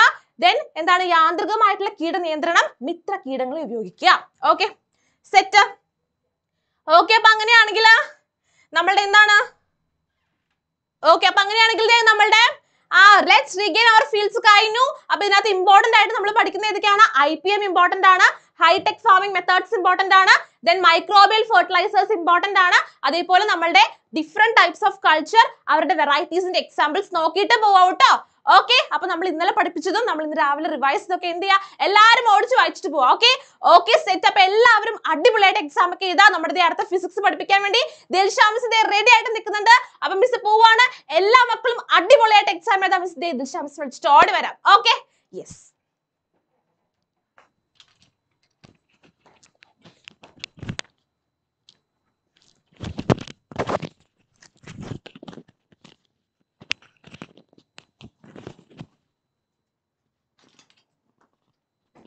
അപ്പൊ ദേ മിസ് എത്തി എത്തി ഇനി നമ്മൾ ഫിസിക്സ് ആണ് ഡിസ്കസ് ചെയ്യാൻ വേണ്ടി പോകുന്നത്. അപ്പൊ നമുക്കിനി കളയാൻ ഒരു സെക്കൻഡ് പോലും ബാക്കിയില്ല. അപ്പൊ എന്റെ മക്കൾ എല്ലാവരും ദേ ഇവിടെ ശ്രദ്ധിക്കുക. ആൻഡ് ഓൾസോ ആരെങ്കിലും ഉറങ്ങി മടിച്ചിരിക്കുന്നവരുണ്ടെങ്കിൽ വേഗം പോയിട്ട് മക്കൾ എല്ലാവരെയും കൂട്ടി വരിക. ദേ ഇവിടെ അടിപൊളിയായിട്ട് നമ്മൾ റിവിഷൻ നടക്കുന്നുണ്ടെന്ന് ഫ്രണ്ട്സിന് എല്ലാവരോടും പറയാം. റെഡി അപ്പൊ ഫിസിക്സ് പഠിക്കാൻ എല്ലാവരും റെഡിയാണ് എന്നുണ്ടെങ്കിൽ നമ്മൾ സ്റ്റാർട്ട് ചെയ്യാണ്. ഫോഴ്സ് എന്ന് പറയുന്ന ചാപ്റ്ററിൽ നിന്ന് ഏറ്റവും ഇമ്പോർട്ടന്റ് ആയിട്ട് ചോദിക്കുന്നത് സമ്പർക്ക ബലവും അതുപോലെ തന്നെ സമ്പർക്ക രഹിത ബലവും എന്ന് പറയുന്ന ആ ഒരു ടോപ്പിക്കിൽ ആയിരിക്കും കോണ്ടാക്ട് ഫോഴ്സ് ഏതാണ്? നോൺ കോണ്ടാക്ട് ഫോഴ്സ് ഏതാണ് എന്ന് ചോദിച്ചു കഴിഞ്ഞാൽ എന്റെ മക്കൾ കൃത്യമായിട്ട് എഴുതി കൊടുക്കണം. അപ്പൊ അതിൽ നിന്നുള്ള ഒരു ക്വസ്റ്റ്യൻ നോക്കിക്കേ. കോണ്ടാക്ട് ഫോഴ്സ് ഏതാണ്? നോൺ കോണ്ടാക്ട് ഫോഴ്സ് ഏതാണെന്നാണ് കണ്ടുപിടിക്കേണ്ടത് മാങ്ങ അല്ലെ? മാങ്ങ താഴെ വീഴുന്നത്. മാങ്ങ വീഴുന്നത് ഏതാണ് മക്കളെ? കോണ്ടാക്ട് ഫോഴ്സ് ആണോ? നോൺ കോണ്ടാക്ട് ഫോഴ്സ് ആണോ? വേഗം പറയൂ. അത് എവിടെ ടച്ച് വരുന്നുണ്ടോ? ടച്ച് വരുമ്പോൾ മാത്രമാണ് അല്ലെ തമ്മിൽ തൊടുന്ന സമയത്ത് മാത്രമാണ് കോണ്ടാക്ട് ഫോഴ്സ് വരുന്നത്. മാങ്ങ വീഴുമ്പോൾ ആരും തൊടുന്നില്ല. സോ അത് നോൺ കോണ്ടാക്ട് ഫോഴ്സ് ആണ്. സമ്പർക്ക രഹിത ബലമാണെന്ന് എന്റെ മക്കൾ ആലോചിക്കുക. A box is moved by pulling അല്ലെ? ഒരു ബോക്സിനെ നമ്മൾ നിരക്കി നീക്കുമ്പോൾ അല്ലെങ്കിൽ അതിനെ തള്ളി നീക്കുന്ന സമയത്ത് നമ്മൾ അതിലേക്ക് തൊടേണ്ടതുണ്ട്. അപ്പൊ അതുകൊണ്ട് തന്നെ അത് കോണ്ടാക്ട് ഫോഴ്സ് ആണ്. സമ്പർക്ക ബലമാണെന്ന് എന്റെ മക്കൾ കൃത്യമായിട്ട് എഴുതി കൊടുക്കണം. എനൈലീസ് അട്രാക്റ്റഡ് ടുവേർഡ്സ് മാഗ്നറ്റ് അല്ലെ? ഒരു മാഗ്നറ്റിന്റെ അടുത്തേക്ക് നമ്മൾ ആണി കൊണ്ടിരുന്ന സമയത്ത് എന്താ മക്കളെ സംഭവിക്കുക? അത് അടുത്തേക്ക് വരുമ്പോ തന്നെ അട്രാക്റ്റഡ് ആവുകയാണ്. അവിടെ ആരും വന്ന് അതിനെ തൊടുന്നില്ല. സോ അവിടെ എന്താണ്? നോൺ കോണ്ടാക്ട് ഫോഴ്സ് ആണ്. ഇനി നമ്മൾ ഇന്നലെ കുറെ എക്സാമ്പിൾസ് പറഞ്ഞിരുന്നു. അപ്പൊ എന്റെ മക്കൾ അത് കൃത്യമായിട്ട് നോക്കിയിട്ടേ പോവാവൂ. ക്ലിയർ അങ്ങനെയാണെങ്കിൽ അടുത്ത ഒരു ക്വസ്റ്റ്യൻ നോക്കിക്കേ. ഫ്രിക്ഷൻ ഗുണം ചെയ്യുന്നതും ഫ്രിക്ഷൻ എന്താണ്? ദോഷകരമാവുന്നത് അല്ലെ ബെനിഫിഷ്യലും അതുപോലെ തന്നെ നോൺ ബെനിഫിഷ്യലും ആകുന്ന കുറച്ച് സന്ദർഭങ്ങൾ തരും. അതെന്റെ മക്കൾ കൃത്യമായിട്ട് എഴുതാൻ അറിയണം. അപ്പൊ എവിടെയൊക്കെയാണ്? നല്ലത് അല്ലെ ഗുണം ചെയ്യുന്ന ബെനിഫിഷ്യൽ ആവുന്ന എവിടെയൊക്കെയാണ് നോക്കിക്കേ? നടക്കാൻ വേണ്ടിയിട്ട് അല്ലെ കാറിന് അല്ലെ നമ്മളുടെ വാഹനങ്ങൾക്ക് ബ്രേക്ക് അപ്ലൈ ചെയ്യുന്ന സമയത്ത് നമുക്ക് നല്ലതാണ്. അതെ മാറ്റ്സ്റ്റിക് അല്ലെ തീപ്പെട്ടി കത്തിക്കാൻ വേണ്ടിയിട്ട് അത് നല്ലതാണ്. അടുത്തത് നോക്കൂ പേപ്പറിൽ നമുക്ക് എഴുതാൻ പറ്റുന്നുണ്ട് അത് നല്ലതല്ലേ? പേപ്പറിലേക്ക് എഴുതാൻ പറ്റുന്നുണ്ട്. ഇനി നോക്കൂ to jump out of an aeroplane അല്ലെ പാരച്യൂട്ട് വെച്ച് നമ്മൾ ആ എയറോപ്ലെയിനിന്ന് നിന്ന് താഴത്തേക്ക് ചാടുന്ന സമയത്ത് അല്ലെ നമുക്ക് രക്ഷിക്കാൻ വേണ്ടിയിട്ട് നമുക്ക് എന്തെങ്കിലും അപകടം പറ്റിയാൽ എന്തിനാണെങ്കിലും പാരച്യൂട്ടിൽ നിന്ന് താഴേക്ക് ചാടാൻ പറ്റുന്നത് നമുക്ക് കൃത്യമായിട്ട് ലാൻഡ് ചെയ്യാൻ പറ്റുന്നത് നല്ല കാര്യമാണ്. ഇനി ഏറ്റവും ഇമ്പോർട്ടന്റ് ആയിട്ട് ചോദിക്കുന്നതാണ് പ്രയോജനകരമല്ലാത്തത് അല്ലെ? നോൺ ബെനിഫിഷ്യൽ ആയിട്ടുള്ളതാണ് ഗുണം അല്ലാത്തത്. വേഗം പറയൂ. ആ ഫ്രിക്ഷൻ കാരണം മെഷീൻസിന്റെ വേരിയസ് പാർട്ടിൽ അല്ലെ? എന്താ യന്ത്രങ്ങളുടെ സ്ഥലത്ത് ചൂടുണ്ടാകുന്നു. അത് തെറ്റാണ് അല്ലെ? നമുക്ക് നല്ലതല്ല. അതുപോലെ തന്നെ എഞ്ചിനിലെ അല്ലെ ഓട്ടോമൊബൈൽസ് കൂടുതൽ പവർ ഉപയോഗിക്കുന്നു വൈദ്യുതി ഉപയോഗിക്കുന്നു. അപ്പൊ അവിടെ വൈദ്യുതി വേസ്റ്റ് ആവുകയാണ്. അപ്പൊ നമുക്ക് നല്ല പൈസ നഷ്ടപ്പെടുമല്ലേ അപ്പൊ അതും ഗുണകരമല്ല. അടുത്തത് നോക്കൂ ഫോറസ്റ്റ് ഫയേഴ്സ് അല്ലെ? നമ്മളുടെ വേനൽക്കാലത്ത് എല്ലാ മരങ്ങളും നല്ല ഉണങ്ങി നിൽക്കുകയായിരിക്കില്ലേ അപ്പൊ ഇവർ തമ്മിൽ കാറ്റത്ത് എന്ത് ചെയ്യും? തമ്മിൽ ഉരസി ഫോറസ്റ്റ് ഫയർ ഉണ്ടാവും. കാട് കത്തി നശിക്കാനുള്ള സാധ്യതയുണ്ട്. അപ്പൊ അതെന്താണ്? നോൺ ബെനിഫിഷ്യൽ ആണ്. അതും ഗുണകരമല്ല. അടുത്തത് നോക്കൂ. അതുപോലെ തന്നെ ടയറുകൾ യന്ത്രങ്ങളുടെയൊക്കെ വിയർ ആൻഡ് ടയർ അല്ലെ? തേയ്മാനം. അപ്പൊ തേയ്മാനം എന്ന് പറയുന്നത് നമുക്ക് നല്ലതല്ല നമുക്കത് മാറ്റേണ്ടി വരും. അപ്പൊ പൈസ ചെലവാണ് അപ്പൊ നമുക്കത് ഗുണകരമായിട്ടുള്ള ഒരു കാര്യമല്ല. ഇത് കൃത്യമായിട്ട് ഇതിൽ നിന്നൊരു ക്വസ്റ്റ്യൻ എന്തായാലും ചോദിക്കാനുള്ള എന്റെ മക്കൾക്ക് സാധ്യതയുണ്ട്. അടുത്തത് നോക്കൂ. A ball rolling on a level road gradually slows down എന്താ? നിരപ്പായ തറയിലൂടെ ഉരുട്ടി വിടുന്ന പന്ത് കുറച്ച് കഴിയുമ്പോൾ നിൽക്കുന്നുണ്ട് അതിനുള്ള കാരണം എന്താണ്? ബോൾ ഉരുട്ടി വിടുന്ന സമയത്ത് കുറച്ച് കഴിഞ്ഞ് നിൽക്കാനുള്ള കാരണം എന്താ മക്കളെ? ഫ്രിക്ഷൻ ആണ് അല്ലെ ഫ്രിക്ഷൻ ആണ്. വിച്ച് ഫോഴ്സ് ഫ്രിക്ഷൻ ഏത് ഫോഴ്സ് ആണെന്നാണ് ചോദിച്ചത്? ഏത് ബലമാണ് അപ്പൊ എന്റെ മക്കൾ കൃത്യമായിട്ട് ഘർഷണം എന്നാണ് അവിടെ എഴുതി കൊടുക്കേണ്ടത്. അടുത്ത നോക്കൂ suggest two methods to reduce force അല്ലെ? ഫ്രിക്ഷണൽ ഫോഴ്സ് കുറയ്ക്കാൻ വേണ്ടിയിട്ട് നമ്മൾ എന്തൊക്കെയാണ് മക്കളെ ചെയ്യേണ്ടത്? എന്റെ മക്കൾ വേഗം പറയൂ. ഫ്രിക്ഷൻ കുറയ്ക്കാൻ നമ്മൾ എന്താണ് മൂന്ന് കാര്യങ്ങൾ ചെയ്താൽ മതി. സ്ട്രീം ലൈനിലെ ധാരാരേഖിതമാക്കൽ. അതെന്താണ്? നമ്മുടെ എയ്റോപ്ലെയിനിലൊക്കെ പ്രത്യേക ഷേപ്പ് കൊടുക്കുന്നത് അല്ലെ ഫ്രണ്ടിലേക്ക് കൂർത്തിരിക്കുന്ന പോലെയുള്ള ഷേപ്പ് കൊടുക്കുന്നതിനെയാണ് നമ്മൾ എന്ത് പറയുന്നത്? സ്ട്രീം ലൈനിങ് അല്ലെങ്കിൽ ധാരാരേഖിതമാക്കൽ എന്ന് പറയുന്നത്. അടുത്ത നോക്കൂ ലൂബ്രിക്കേഷൻ സ്നേഹങ്ങൾ. നമ്മൾ ഓയിൽ കൊടുക്കുന്നു ഗ്രീസ് കൊടുക്കുന്നു. അല്ലെ കൃത്യമായിട്ട് ഓർക്കുക ഓയിൽ ഉപയോഗിക്കും അതുപോലെ തന്നെ ഗ്രീസ് ഉപയോഗിക്കും. അതുപോലെ ഏറ്റവും ഇമ്പോർട്ടന്റ് ആയിട്ടുള്ളതാണ് ഗ്രാഫൈറ്റ് മക്കളെ. എന്താ സോളിഡ് ഷേപ്പിലെ ഖരാവസ്ഥയിലുള്ള ലൂബ്രിക്കന്റ് ഏതാണ്? സ്നേഹകം ഏതാണെന്ന് എന്റെ മക്കളോട് ചോദിച്ചാൽ എന്താണ് കൃത്യമായിട്ട് എഴുതി കൊടുക്കേണ്ടത്? ഗ്രാഫൈറ്റ് ആണ് സർ എന്ന് എഴുതി കൊടുക്കണം. അപ്പം സ്നേഹകങ്ങൾ പിന്നെ എന്താണ്? ബാൾ ബിയറിംഗ്സ് ഇതിൽ ഏത് എഴുതി കൊടുത്താലും എന്റെ മക്കൾക്ക് ടീച്ചർമാര് മാർക്ക് ഇടാതിരിക്കില്ല മാർക്ക് ഇടാതെ അവർക്ക് പറ്റില്ല ഫുൾ മാർക്ക് എന്തായാലും തന്നിരിക്കും. അവസാനത്തെ ക്വസ്റ്റ്യൻ നോക്കൂ. What type of force experience ഇവിടെ അനുഭവപ്പെടുന്നത് ഏത് തരത്തിലുള്ള ബലമാണെന്നാണ് ചോദിച്ചിരിക്കുന്നത്. ഏത് തരത്തിലുള്ള ബലമാണ്? ടച്ചിൽ വരുന്നില്ലേ മക്കളെ? അപ്പൊ അത് കോണ്ടാക്ട് അല്ലേ? സമ്പർക്ക ബലം ആണ്. അപ്പൊ സമ്പർക്ക ബലമാണ്. സമ്പർക്ക ബലം കോണ്ടാക്ട് ഫോഴ്സ് എന്നാൽ അവിടുത്തെ ഫുൾ മാർക്ക് നമുക്ക് ഇങ്ങനെ കയ്യിലേക്ക് കയ്യിലേക്ക് പോക്കറ്റിലേക്ക് ആവുകയാണ്. അടുത്തത് നോക്കൂ. ത്രസ്റ്റ് അല്ലെ? ത്രസ്റ്റ് എന്ന് പറയുന്നതിന്റെ യൂണിറ്റ് ന്യൂട്ടൺ ആണെങ്കിൽ എന്റെ മക്കൾ പറയൂ പ്രഷർ അല്ലെങ്കിൽ മർദ്ദത്തിന്റെ യൂണിറ്റ് എന്താണ് മക്കളെ? പാസ്കൽ ആണ്. പാസ്കൽ എന്താണ്? പാസ്കൽ ആണ്. Okay pascal pascal pascal okay pascal ആണെന്ന് എന്റെ മക്കൾ മനസ്സിലാക്കണം. അടുത്തു നോക്കൂ. Dams are constructed with large base അല്ലെ? ഡാമുകളുടെ ബേസ് വളരെ വലിപ്പം കൂടിയതാക്കുന്ന ഏരിയ കൂട്ടുന്നത് എന്തുകൊണ്ടാണ്? മർദ്ദം അല്ലെ? മർദ്ദം എന്ന് പറയുന്നത് അല്ലെങ്കിൽ പ്രഷർ എന്ന് പറയുന്നത് അല്ലെ? ഏരിയയുമായിട്ട് എങ്ങനെയാണ് ബന്ധപ്പെട്ടിരിക്കുന്നത്? വേഗം പറയൂ. പ്രഷർ അല്ലെങ്കിൽ മർദ്ദം ഏരിയ കൂടുമ്പോൾ എന്ത് സംഭവിക്കും? ഏരിയ കൂടിയാൽ ഓക്കെ ഏരിയ കൂടുക എന്ന് പറഞ്ഞാൽ ദേ ഇങ്ങനെ കൂടുമ്പോൾ എന്ത് സംഭവിക്കും? പ്രഷർ കുറയുകയാണ് ചെയ്യുന്നത്. ഏരിയ അല്ലെ ഏരിയ കുറയുമ്പോൾ പ്രഷർ എന്ത് ചെയ്യാണ്? കൂടെ രണ്ടുപേരും തമ്മിൽ ചേരില്ല. അല്ലെ? അപ്പൊ ഡാമുകളുടെ ബേസ് വലുതാക്കുന്നത്. ഏരിയ കൂട്ടുന്നത് എന്തുകൊണ്ടാണ്? പ്രഷർ കുറയ്ക്കാൻ വേണ്ടിയിട്ടാണ് അല്ലെ അത് വേറെ എവിടെയൊക്കെയാണ് ഉപയോഗിക്കുന്നത്? കത്തി അല്ലെ? കത്തിയുടെ എന്താ എഡ്ജ് എഡ്ജ് ഏരിയ കുറയ്ക്കുന്നത്. അതുപോലെ തന്നെ നമ്മുടെ യുദ്ധ ടാങ്കറുകളുടെ ടയറിന്റെ അവിടെ നമ്മൾ ചെയിന് കൊടുക്കുന്നത്. എല്ലാം എന്തിന് എക്സാമ്പിൾ ആണ്? പ്രഷറും ഏരിയയും തമ്മിലുള്ള ആ ഒരു ബന്ധമാണ് എന്റെ മക്കൾ എഴുതി കൊടുക്കേണ്ടത്. കൃത്യമായിട്ട് ചോദിക്കുമ്പോൾ അത് കൃത്യമായിട്ട് എന്ത് ചെയ്യണം? എഴുതി കൊടുക്കണം. എന്റെ മക്കൾ ജയിക്കും. ജയിക്കില്ല എന്ന് പറയുന്ന എല്ലാവരോടും പറയാണ്. എക്സാം വിന്നറിന്റെ ക്ലാസ്സസ് കണ്ടുപോയാൽ എന്റെ മക്കൾ ജയിക്കും. അത് മിസ് തരുന്ന ഉറപ്പാണ്. എക്സാമിനർ തരുന്ന ഉറപ്പാണ്. റെഡി അടുത്തത് നോക്കൂ. കൃത്യമായിട്ട് നിങ്ങൾക്ക് നോട്ട്സ് കിട്ടുമ്പോൾ വായിക്കാൻ വേണ്ടിയിട്ടാണ് കൃത്യമായിട്ട് മിസ് ഇവിടെ നോട്ട്സ് എഴുതി തന്നിരിക്കുന്നത്. അടുത്ത ഒരു ക്വസ്റ്റ്യൻ നോക്കൂ. എന്താ ഇത്? Bubbles rising from the bottom അല്ലെ ഒരു നാല് കുപ്പികൾ തന്നിട്ടുണ്ട്. ഇതിലത്തെ ഏതാണ് കൃത്യമായിട്ടുള്ള ബബിൾ എന്നാണ് നിങ്ങൾ കണ്ടുപിടിക്കേണ്ടത്. നോക്കൂ. ഫസ്റ്റത്തെ നോക്കൂ. ദേ വലുത് ചെറുത് ചെറുത് ചെറുത് അല്ലെ? വലുത് എല്ലാം ഒരേ വലിപ്പമാണ് ഇവിടെ. ഇത് ചെറുത് വലുത് വലുത് വലുത്. അതുപോലെ ചെറുത് വലുത് ചെറുത് വലുത്. ഇതിലത്തെ ഏതാണ് കറക്റ്റ് ആയിട്ടുള്ളത് മക്കളെ? വേഗം നോക്കൂ. ഇവിടെ നിങ്ങൾ ദ്രാവക മർദ്ദം അല്ലെ? ലിക്വിഡ് പ്രഷർ ആണ് ആലോചിക്കേണ്ടത്. ലിക്വിഡ് പ്രഷർ എന്താ? ഡെപ്ത് കൂടുമ്പോൾ അല്ലെ? നീളം കൂടുന്ന സമയത്ത് അല്ലെങ്കിൽ ഡെപ്ത് കൂടുമ്പോൾ ഹൈറ്റ് കൂടുമ്പോൾ എന്താ സംഭവിക്കുക? ബബിൾസിന്റെ എയർ പ്രഷർ സോറി എയർ അല്ല ലിക്വിഡ് പ്രഷർ അല്ലെ? ദ്രാവക മർദ്ദം കൂടുകയാണ്. അപ്പൊ മർദ്ദം കൂടിയാൽ ആ ബബിൾ ചെറുതാവും അല്ലെ? മർദ്ദം കൂടുമ്പോൾ ബബിൾ ചെറുതാവുകയാണ് ചെയ്യുന്നത്. അപ്പൊ ചെറുത് വലുത് വലുത് വലുത് എന്നുള്ളതാണ് കൃത്യമായിട്ട് ശരിയായിട്ടുള്ള ഉത്തരം അത് കൃത്യമായിട്ട് എന്റെ മക്കൾ എഴുതി കൊടുക്കണം. എല്ലാവരും ആൻസർ ചെയ്യുന്നുണ്ട്. വെരി വെരി വെരി ഗുഡ് മക്കളെ. അടുത്തത് നോക്കൂ അടുത്തത് നോക്കൂ. ദേ ഇയാൾ ആരാണ്? ഇയാൾ മർദ്ദം അളക്കുന്നത് കേട്ടോ. അറ്റ്മോസ്ഫെറിക് പ്രഷർ അളക്കുന്ന atmospheric pressure okay atmospheric pressure അളക്കുന്ന ആളാണ്. ഇതാരാണ് മക്കളെ? ഇതിന്റെ പേരെന്താണ്? ഇതിന്റെ പേരെന്റെ മക്കളെ? എനിക്ക് പറഞ്ഞു തരൂ. ബാരോമീറ്റർ ആണ് മക്കളെ ബാരോമീറ്റർ ഓക്കെ ബാരോമീറ്റർ ആണ് ഇനി വേഗം പറയൂ ഇവിടെ നിന്ന് ചോദിക്കുന്നതാണ് അറ്റ്മോസ്ഫറിക് പ്രഷർ അല്ലെങ്കിൽ വായുമർദ്ദം അളക്കുന്ന അല്ലെങ്കിൽ യൂണിറ്റ് എന്താണെന്ന് ചോദിക്കും. യൂണിറ്റ് എന്താണ്? എന്റെ മക്കൾ വേഗം പറഞ്ഞുതരൂ. യൂണിറ്റ് യൂണിറ്റ് യൂണിറ്റ് യൂണിറ്റ് എന്ന് പറയുന്നത് ബാരോമീറ്റർ എന്ന് ആലോചിച്ചു കഴിഞ്ഞാൽ തന്നെ കിട്ടും. ബാർ ആണ് അല്ലെ? ബാർ ആണ് ബാർ ആണ് ബാർ ബാർ അല്ലെ? അടുത്തത് നോക്കൂ. ആസ്ട്രോണസ് ഇതാണ് വളരെ ഇമ്പോർട്ടന്റ് ആയിട്ട് ചോദിക്കുന്ന ക്വസ്റ്റ്യൻ അല്ലെ? ഹൈറ്റ് ഉള്ള സ്ഥലങ്ങളിലേക്ക് പോകുമ്പോൾ അല്ലെങ്കിൽ ബഹിരാകാശ സഞ്ചാരം നടത്തുമ്പോൾ അല്ലെ? അവിടേക്ക് പോകുന്ന യാത്രികർ എന്ത് ചെയ്യുന്നു? സ്പെഷ്യൽ സൂട്ടുകൾ ഇടുന്നു. അല്ലെ? സ്പെഷ്യൽ ഡ്രസ് ഇടുന്നു. അതിന് കാരണം എന്താണ്?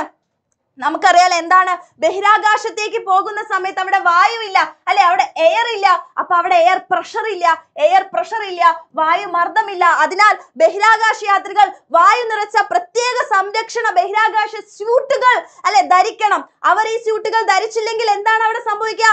ബഹിരാകാശ യാത്രയുടെ ശരീരം ചെലുത്തുന്ന അധിക മർദ്ദം അല്ലെ അവരുടെ ശരീരത്തിന്റെ ഉള്ളിലുള്ള ബോഡിയുടെ ഉള്ളിലുള്ള പ്രഷർ കാരണം രക്തക്കുഴലുകൾ അല്ലെ നമ്മുടെ വെയിൻസ് എല്ലാം എന്ത് ചെയ്യും? പൊട്ടിത്തെറിക്കാനുള്ള സാധ്യതയുണ്ട്. നമ്മൾ തട്ടിപ്പോകാനുള്ള സാധ്യതയുണ്ട്. അപ്പൊ തട്ടിപ്പോകണ്ടാത്ത എന്തുണ്ടെങ്കിൽ എന്ത് ചെയ്യണം? നമ്മൾ ഇതുപോലുള്ള സ്യൂട്ടുകൾ ഇട്ടിട്ട് വേണം പോകാൻ. അവിടെ കൃത്യമായിട്ട് എന്റെ മക്കൾ എഴുതി എഴുതി കൊടുക്കുക. അപ്പൊ വളരെ ഇമ്പോർട്ടന്റ് ആയിട്ടുള്ള എല്ലാ ക്വസ്റ്റ്യൻസും നമ്മൾ ഡിസ്കസ് ചെയ്തിട്ടുണ്ട്.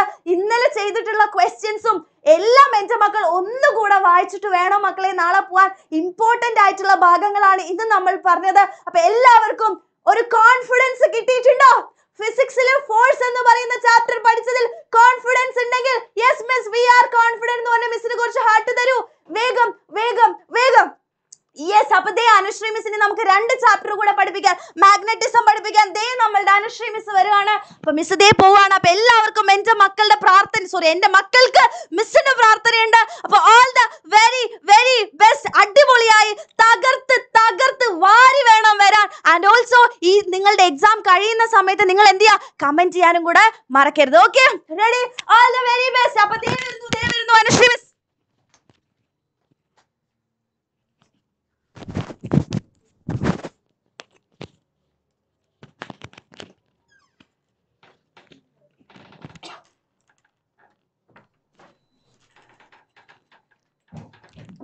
ഹലോ മക്കളെ good morning good morning everyone എല്ലാരും ഇന്ന് നമ്മുടെ ക്ലാസ് കാണാൻ വേണ്ടി നേരത്തെ എണീച്ച് വന്നിരിക്കുകയാണോ? ഗുഡ് മോർണിംഗ് യെസ് ഓക്കെ അപ്പൊ നമുക്ക് സ്റ്റാർട്ട് ചെയ്യാം. നമുക്ക് രണ്ട് ചാപ്റ്റർ ആണ് പഠിക്കാനുള്ളത്. രണ്ടിലും ഇമ്പോർട്ടന്റ് ആയിട്ടുള്ള ക്വസ്റ്റ്യൻ ഒക്കെ പഠിപ്പിച്ച് നിങ്ങളെ അടിപൊളി കോൺഫിഡന്റ് ആക്കിയിട്ടേ മിസ് വിടുള്ളൂ. ഓക്കെ എല്ലാരും ഇന്നലെ നമ്മുടെ ലൈവ് ഒക്കെ കണ്ട് എല്ലാ ക്വസ്റ്റ്യൻസും ഡിസ്കസ് ചെയ്തൊക്കെ എല്ലാവർക്കും മനസ്സിലായില്ലേ? അപ്പൊ നമ്മൾ ഇന്ന് എന്ത് ചെയ്യും ജസ്റ്റ് പഠിച്ചതൊക്കെ ഒന്ന് ഓർമ്മിച്ചെടുക്കും എന്നിട്ട് നമ്മൾ അടിപൊളിയായിട്ട് പോയിട്ട് എക്സാം എഴുതും ഓക്കെ സെറ്റ് അല്ലേ ഓക്കെ ദാ അപ്പൊ നമുക്ക് സ്റ്റാർട്ട് ചെയ്യാം Select the correct statement. The north pole of the earth magnet is near the geographic north pole. The south pole of earth magnet is near geographic north pole. The south pole of earth magnet is at the equator. ഇനി Malayalam okay ശരിയായ പ്രസ്താവന തിരഞ്ഞെടുത്ത് എഴുതുക. ഭൂകാന്തത്തിന്റെ ഉത്തരധ്രുവം ഭൂമിശാസ്ത്രപരമായ ഉത്തരധ്രുവത്തിനടുത്താണ്. ഭൂകാന്തത്തിന്റെ ദക്ഷിണ ധ്രുവം ഭൂമിശാസ്ത്രപരമായ ഉത്തരധ്രുവത്തിനടുത്താണ്. ഭൂകാന്തത്തിന്റെ ദക്ഷിണ ധ്രുവം ഭൂമധ്യരേഖയിലാണ്. ഏതാണ് മക്കളെ ശരിയായ പ്രസ്താവന? ഏതാണ് ശരിയായ പ്രസ്താവന? നമുക്കറിയാം ഭൂമിയുടെ ഉള്ളിൽ എന്തുണ്ട്? ഒരു കാന്തമുണ്ട്. ഭൂമിന്റെ ഉള്ളിൽ ഒരു കാന്തമുണ്ട്. ഭൂമിന്റെ നോർത്ത് പോളിൽ ഭൂമിയുടെ ഉള്ളിലുള്ള കാന്തത്തിന്റെ സൗത്ത് പോളും ഭൂമിയുടെ ജിയോഗ്രഫിക്കൽ സൗത്ത് പോളിൽ ഭൂമിയുടെ ഉള്ളിലുള്ള കാന്തത്തിന്റെ നോർത്ത് പോളുമാണ് ഉണ്ടാവുക. ഇത് ആലോചിച്ച് നോക്കിയിട്ട് നിങ്ങൾ പറ ഇതിൽ ഏതാണ് കറക്റ്റ് സ്റ്റേറ്റ്മെന്റ് ഏതാണ് കറക്റ്റ് സ്റ്റേറ്റ്മെന്റ് ഏതാണ്? The north pole of earth magnetises near geographic north pole ആണോ? The south pole of earth magnetises geographic north ആണോ അതോ സി ആണോ? യെസ് ഓപ്ഷൻ ടു നമ്മുടെ ബി ആണ് അല്ലെ? ബി ഓക്കെ ബി ഇനി next question observe the diagram A and B are two soft iron nails kept near a magnet as shown. They have gained magnetic property. നമുക്കറിയാലേ? അല്ലെ മക്കളെ? നമ്മളൊരു magnet എടുത്തിട്ട് മാഗ്നറ്റിന്റെ അടുത്ത് നമ്മളൊരു കാന്തിക വസ്തു അല്ലെങ്കിൽ മാഗ്നറ്റിക് സബ്സ്റ്റൻസ് വെക്കുകയാണെങ്കിൽ ആ മാഗ്നറ്റിക് സബ്സ്റ്റൻസ് എന്താവും? കാന്തമാവും അല്ലെ? മാഗ്നറ്റിക് സബ്സ്റ്റൻസ് കാന്തമായിട്ട് മാറും.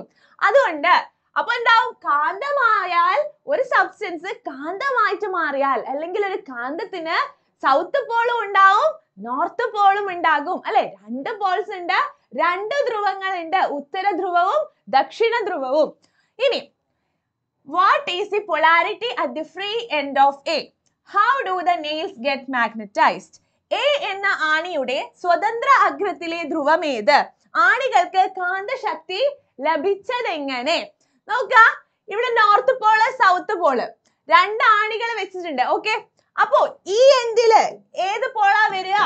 ആണിന്റെ ബി എൻഡിൽ ഇവിടെ മാഗ്നറ്റിന് സൗത്ത് പോൾ ആണെങ്കിൽ ആണിക്ക് ഇവിടെ നോർത്ത് പോൾ വരും. എന്നാലേ അവർ ഒട്ടിയിരിക്കുള്ളൂ അട്രാക്റ്റഡ് ആയിട്ടിരിക്കുള്ളൂ.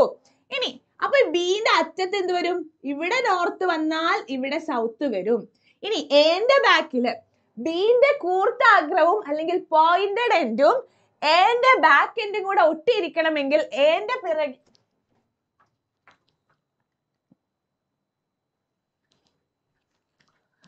ഓക്കെ സ്റ്റക്ക് പോയില്ലേ?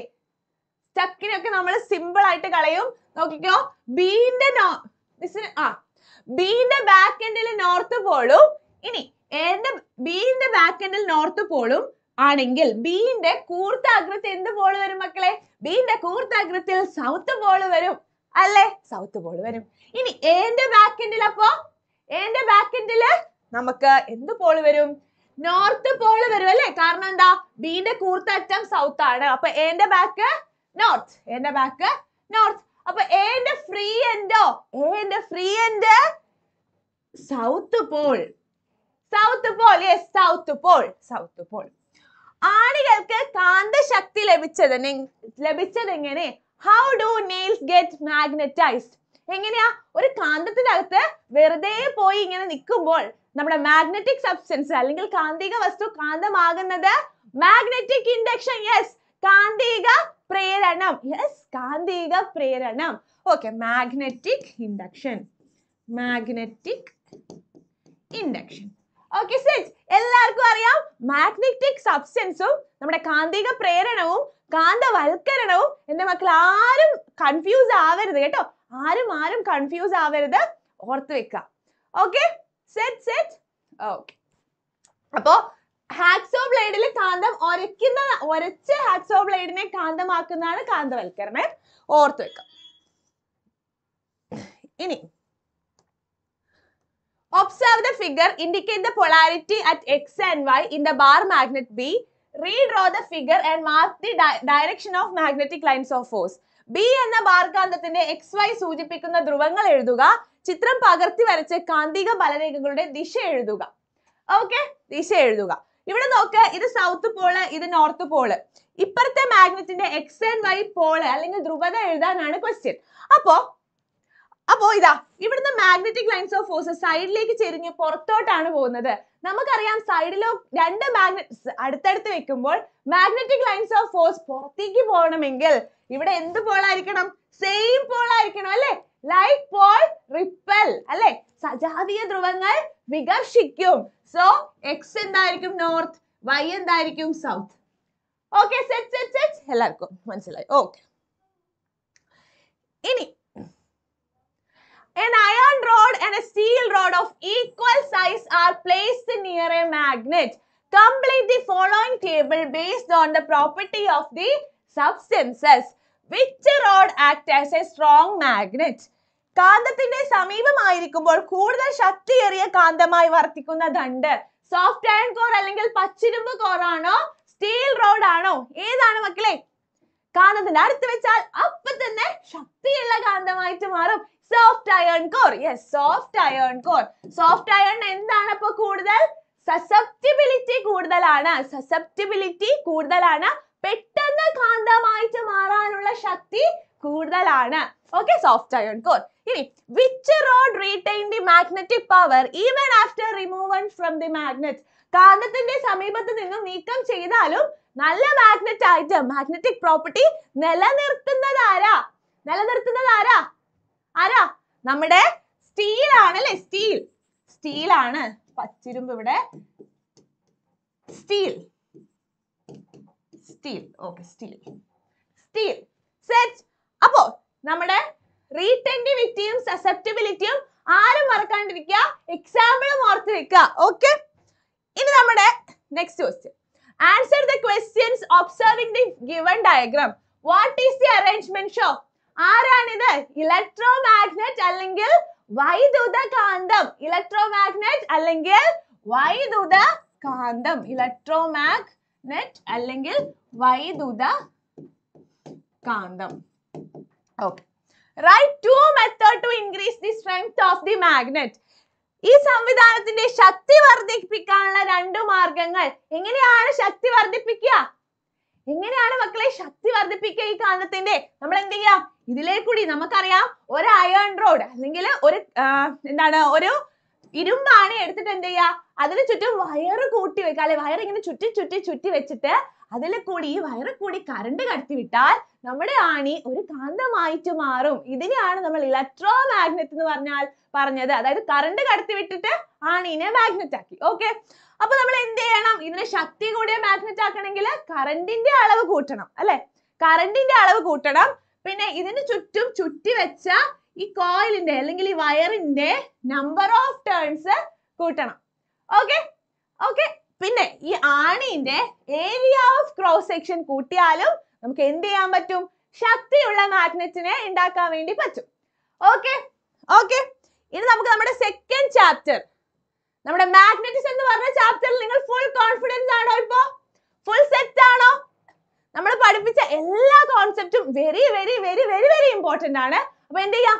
അതെല്ലാം പഠിച്ചു വെക്കാം. ഓക്കെ സെറ്റ് അല്ലേ?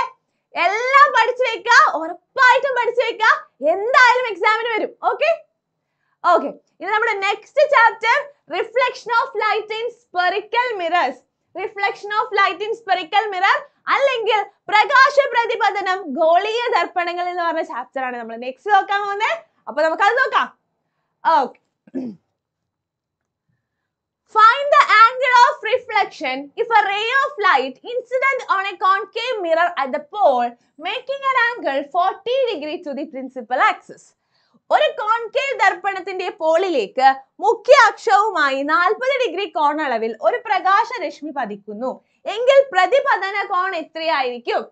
യെസ് നാൽപ്പത് ഡിഗ്രി ക്വസ്റ്റ്യൻ കേൾക്കുന്നതിന് മുന്നേ ഉത്തരം പറയുന്നു. അടിപൊളി മക്കളെ നിങ്ങൾക്ക് ഇടലാണ് ഓക്കെ അപ്പൊ നോക്കാം. നമുക്കറിയാം ലോസ് ഓഫ് റിഫ്ലക്ഷൻ എന്തായിരുന്നു? ലോസ് ഓഫ് റിഫ്ലക്ഷൻ എന്തായിരുന്നു? Angle of incidence is equal to angle of reflection angle of incidence is equal to angle of reflection പേര് പറയാൻ വേണ്ടി മിസ്സിന് പേര് വായിക്കാൻ വേണ്ടി പറ്റുന്നില്ല മക്കളെ. പേരിങ്ങനെ പെട്ടത് പോവാണ്. അത്രയും അധികമാണ് നമ്മുടെ പവർ അല്ലേ? എല്ലാവരും ലൈവ് ചാറ്റിൽ ആക്റ്റീവ് ആണ്. മിസ്സിന് പെട്ടെന്ന് പേര് വായിക്കാൻ പറ്റുന്നില്ല കേട്ടോ. എല്ലാരും അടിപൊളിയാണ് ഓക്കെ അപ്പൊ ഇൻസിഡൻസ് ആംഗിൾ ഫോർട്ടി ആണെങ്കിൽ റിഫ്ലക്റ്റഡ് ആംഗിളും forty okay forty which of the following statement is true about mirror ശരിയായ പ്രസ്താവന ഏത്? Radius of curvature of a spherical mirror is half of that its focal length Image formed by a convex mirror is always virtual. The light rays parallel to the principal axis of a convex mirror is converged to its principal focus after reflection.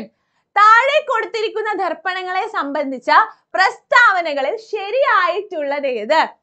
ഏതാണ്? ഒരു ഗോളീയ ദർപ്പണത്തിന്റെ വക്രതാരം അതിന്റെ focus ദൂരത്തിന്റെ പകുതി ആയിരിക്കും. തെറ്റല്ലേ ഇത്? തെറ്റാണ്. ഇനി കോൺവെക്സ് ദർപ്പണങ്ങൾ രൂപപ്പെടുത്തുന്ന പ്രതിബിംബങ്ങൾ എല്ലായ്പ്പോഴും മിഥ്യയായിരിക്കും കറക്റ്റ് അല്ലേ? Image formed by convex mirror is always virtual set അത് റൈറ്റ് ആണ്. അപ്പോൾ ബി റൈറ്റ് ആണ്. എ തെറ്റാണ് എ തെറ്റാണ്. ഇനി C the light rays parallel to principal axis of a convex mirror converges to its principal focus after reflection ശരിയാണോ? അല്ല. Okay അപ്പോ which of the statement true about mirror നമ്മുടെ B statement ആണ് true B is true okay The rays of light passing parallel to the principal axis of a spherical mirror is shown in figure. Draw the reflected rays and mark principal focus of the mirror.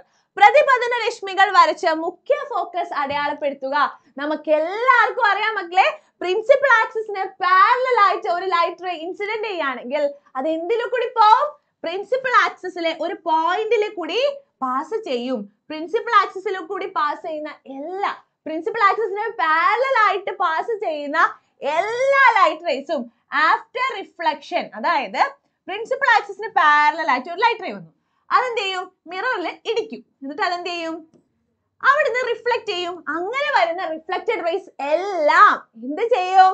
നമ്മുടെ principal axis അല്ലെങ്കിൽ മുഖ്യ അക്ഷത്തിലെ ഒരു പോയിന്റിൽ കൂടി കടന്നു പോകും. ആ മുഖ്യ അക്ഷത്തിലെ ആ പോയിന്റ് ആണ് നമ്മുടെ പ്രിൻസിപ്പൽ ഫോക്കസ് അല്ലെങ്കിൽ മുഖ്യ ഫോക്കസ് ഓക്കെ സെറ്റ് അത്രയും നമുക്ക് മനസ്സിലായി. Focus of a concave mirror is always real why concave ദർപ്പണത്തിന്റെ focus യഥാർത്ഥമാണ്. എന്തുകൊണ്ട്? നമുക്ക് സ്ക്രീനിൽ ഇമേജ് ഉണ്ടാക്കാൻ വേണ്ടി പറ്റും. അല്ലെ? നമുക്ക് സ്ക്രീനിൽ ഇമേജ് ഉണ്ടാക്കാൻ വേണ്ടി പറ്റും. സോ അതുകൊണ്ടാണ് നമ്മൾ പറയുന്നത് കോൺ focus of a concave mirror is always real കാരണം കോൺകേവ് മിററിൽ നമ്മൾ എന്ത് ചെയ്യും ഇമേജ് ഫോം ചെയ്യുമ്പോൾ പ്രിൻസിപ്പൽ ആക്സിസിന് പാരലൽ ആയിട്ട് വരുന്ന എല്ലാ ലൈറ്റ് റേസും ഒരു ഫോക്കസിൽ അതായത് പ്രിൻസിപ്പൽ ആക്സിസിലെ ഒരു പോയിന്റിൽ വന്ന് കൂടിച്ചേരുന്നതായിട്ട് നമുക്ക് കാണാൻ വേണ്ടി പറ്റും. സോ നമ്മൾ ഇതിനെ വിളിക്കും principal focus of a concave mirror is real real okay okay ഇനി what is the focal length of a concave mirror of radius radius of curvature? 24 cm 24 cm വക്രത ആരമുള്ള കോൺകേവ് ദർപ്പണത്തിന്റെ ഫോക്കസ് ദൂരം എത്രയാണ്? നമുക്ക് ഏറ്റവും അറിയാവുന്ന നമ്മുടെ ഇഷ്ടപ്പെട്ട formula focal length F is equal to R by two അപ്പൊ നമുക്ക് എന്താ കണ്ടുപിടിക്കണ്ടേ ഫോക്കൽ ലെങ്ത് നമുക്ക് റേഡിയസ് ഓഫ് കർവേച്ചർ തന്നാൽ ഫോക്കൽ ലെങ്ത് കണ്ടുപിടിക്കാൻ F is equal to R by two that is twenty four by two that is twelve centimetre twelve centimetre okay okay ഇനി which type of spherical mirror is used as rear view mirror in vehicles rear view mirror ആയിട്ട് use ചെയ്യുന്ന mirror ഏതാ? Concave ആണോ convex ആണോ? കോൺകേവോ കോൺവെക്സോ convex yes convex mirror ആണ് അല്ലേ? കോൺവെക്സ് മിറർ വേറെ എവിടേക്കാ യൂസ് ചെയ്യുക കോൺവെക്സ് മിറർ വേറെ എവിടെയൊക്കെയാ നമ്മൾ യൂസ് ചെയ്യുക? രണ്ട് റോഡ് കൂട്ടിമുട്ടുന്നിടത്ത് അല്ലേ രണ്ട് റോഡുകൾ കൂടി ചേരുന്ന സ്ഥലത്ത് നമ്മൾ വലിയൊരു മിറർ വെച്ചിട്ടുണ്ടാവും അല്ലേ? അത് കോൺവെക്സ് ആണ്. ഓക്കെ പിന്നെ സ്ട്രീറ്റ് ലൈറ്റ്സിൽ കോൺവെക്സ് മിറേഴ്സ് യൂസ് ചെയ്യാറുണ്ട്. ഓക്കെ അപ്പൊ ഇത്രയും കാര്യങ്ങളാണ് ഇമ്പോർട്ടന്റ് ആയിട്ട് നമ്മുടെ reflection of light in spherical mirror എന്ന് പറഞ്ഞ ചാപ്റ്ററിൽ പഠിക്കാനുള്ളത്. ഇമേജ് ഫോർമേഷൻ ജസ്റ്റ് ഒന്ന് നോക്കി പോവുക. ഓക്കെ ഇമേജ് ഫോർമേഷൻ ശരിക്കും ഒന്ന് ജസ്റ്റ് ഒന്ന് നോക്കി പോവുക. പിന്നെ ray diagram rules ray diagram rules important ആയിട്ട് എന്റെ മക്കൾ എല്ലാവരും പഠിച്ചു വെക്കുക ആർക്കെങ്കിലും എന്തെങ്കിലും ഡൗട്ട് ഉണ്ടെങ്കിൽ വൺ ഷോട്ട് വീഡിയോ എടുത്ത് കാണാം. ഓക്കെ ഓക്കെ ഓക്കെ മിസ്സിന്റെ പേര് അനുശ്രീ എന്നാണ്. ഓക്കെ മിസ്സിന്റെ പേര് അനുശ്രീ എന്നാണ്. ഓക്കെ ഓക്കെ അപ്പൊ ദാ നെക്സ്റ്റ് നിങ്ങൾക്ക് എന്താണ് ഇനി ബാക്കി? ദാ കെമിസ്ട്രി പഠിപ്പിക്കാൻ വേണ്ടി ഇതാ മിഥുല മിസ് ഫുൾ സെറ്റ് ആയിട്ട് ഇരിക്കുകയാണ് ദാ ഇപ്പൊ വരും. ഓക്കെ അപ്പൊ എല്ലാവർക്കും ഓൾ ദി ബെസ്റ്റ് എല്ലാ സബ്ജക്റ്റും അടിപൊളിയായിട്ട് മിസ്സിന്റെ മക്കൾ എല്ലാവരും എഴുതുക. അപ്പൊ എല്ലാവർക്കും all the best okay okay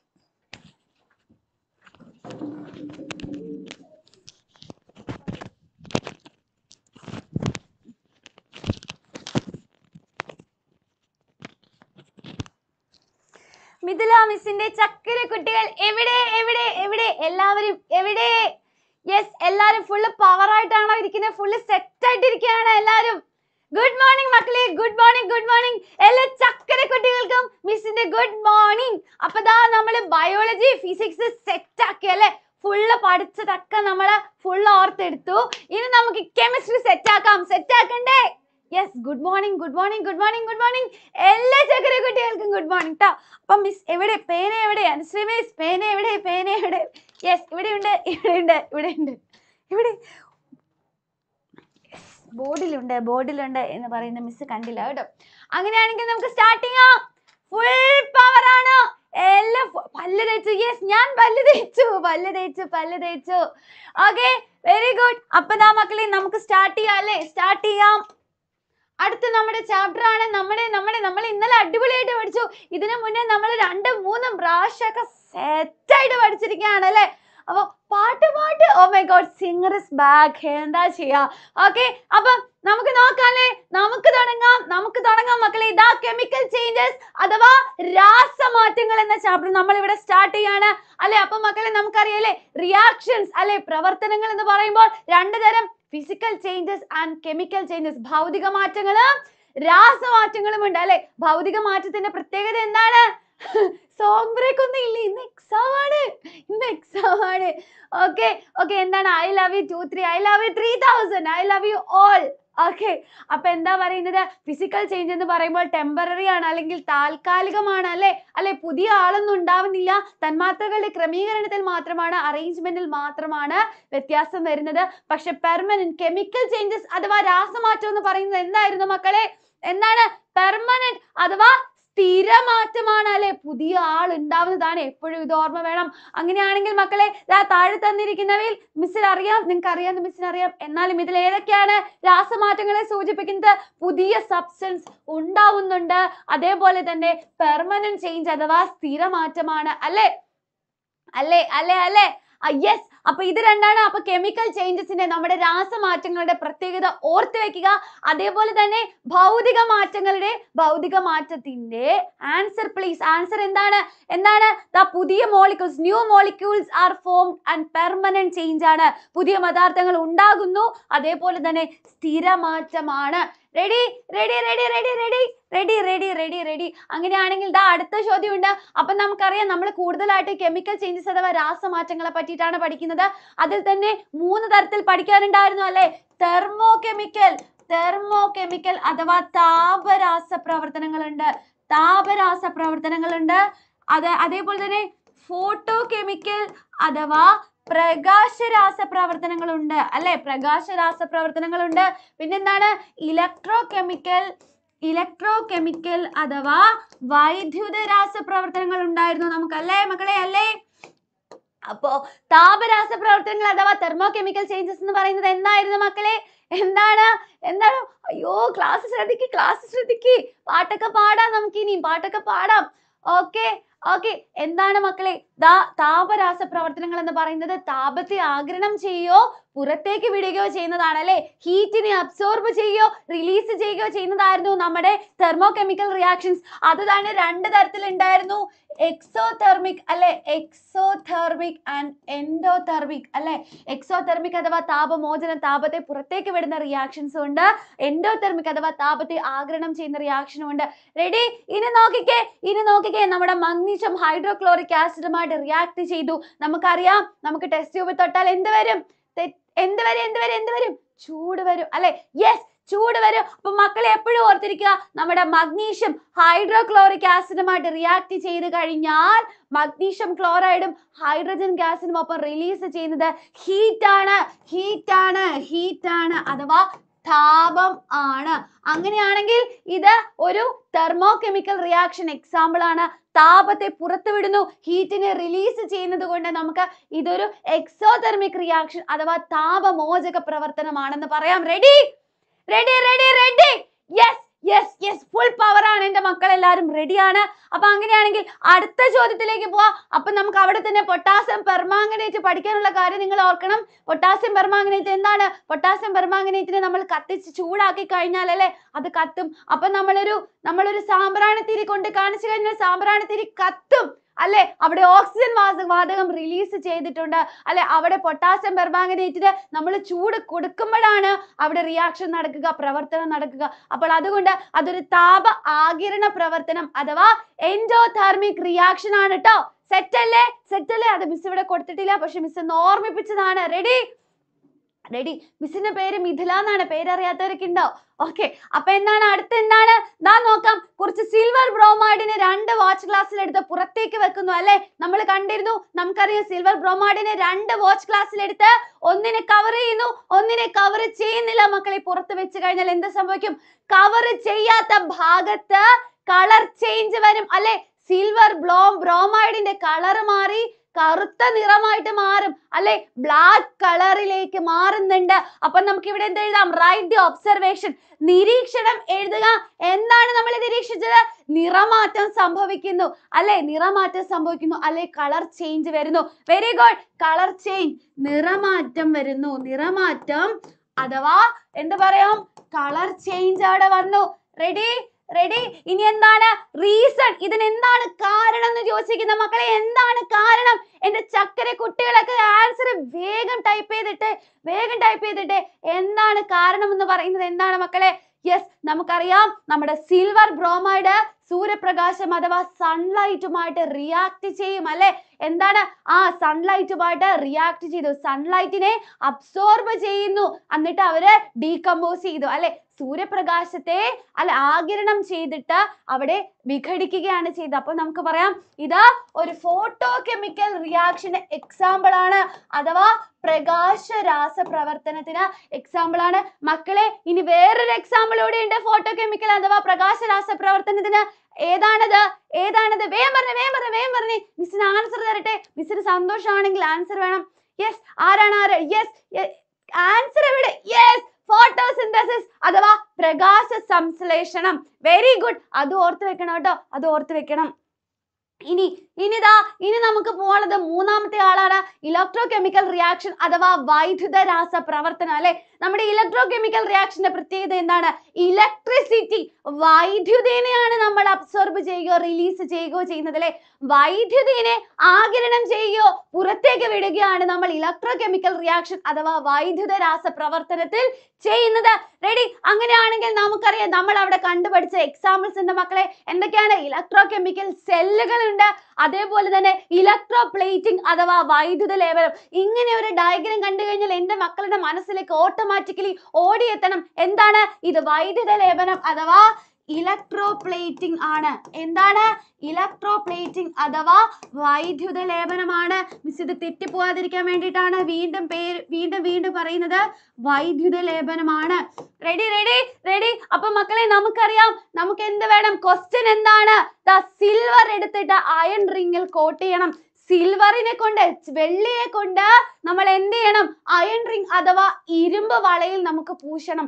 അങ്ങനെയാണെങ്കിൽ എന്റെ മക്കൾ വേഗം പറഞ്ഞേ നമുക്ക് വേണ്ടത് നമുക്ക് വേണ്ടത് ആരെയൊക്കെയാണ് ഒരു സിൽവർ റോഡ് വേണം അതേപോലെ ഇരുമ്പ് വള വേണം. ഇനി ഇനി നമുക്കറിയാം സിൽവറിനെ ഇരുമ്പിലേക്കാണ് പ്ലേറ്റ് ചെയ്യേണ്ടത്. അപ്പൊ നമ്മുടെ ഇലക്ട്രോലൈറ്റ് എന്ന് പറയുന്നത് ആരായിരിക്കണം? ഇലക്ട്രോലൈറ്റിൽ ആരുണ്ടായിരിക്കണം?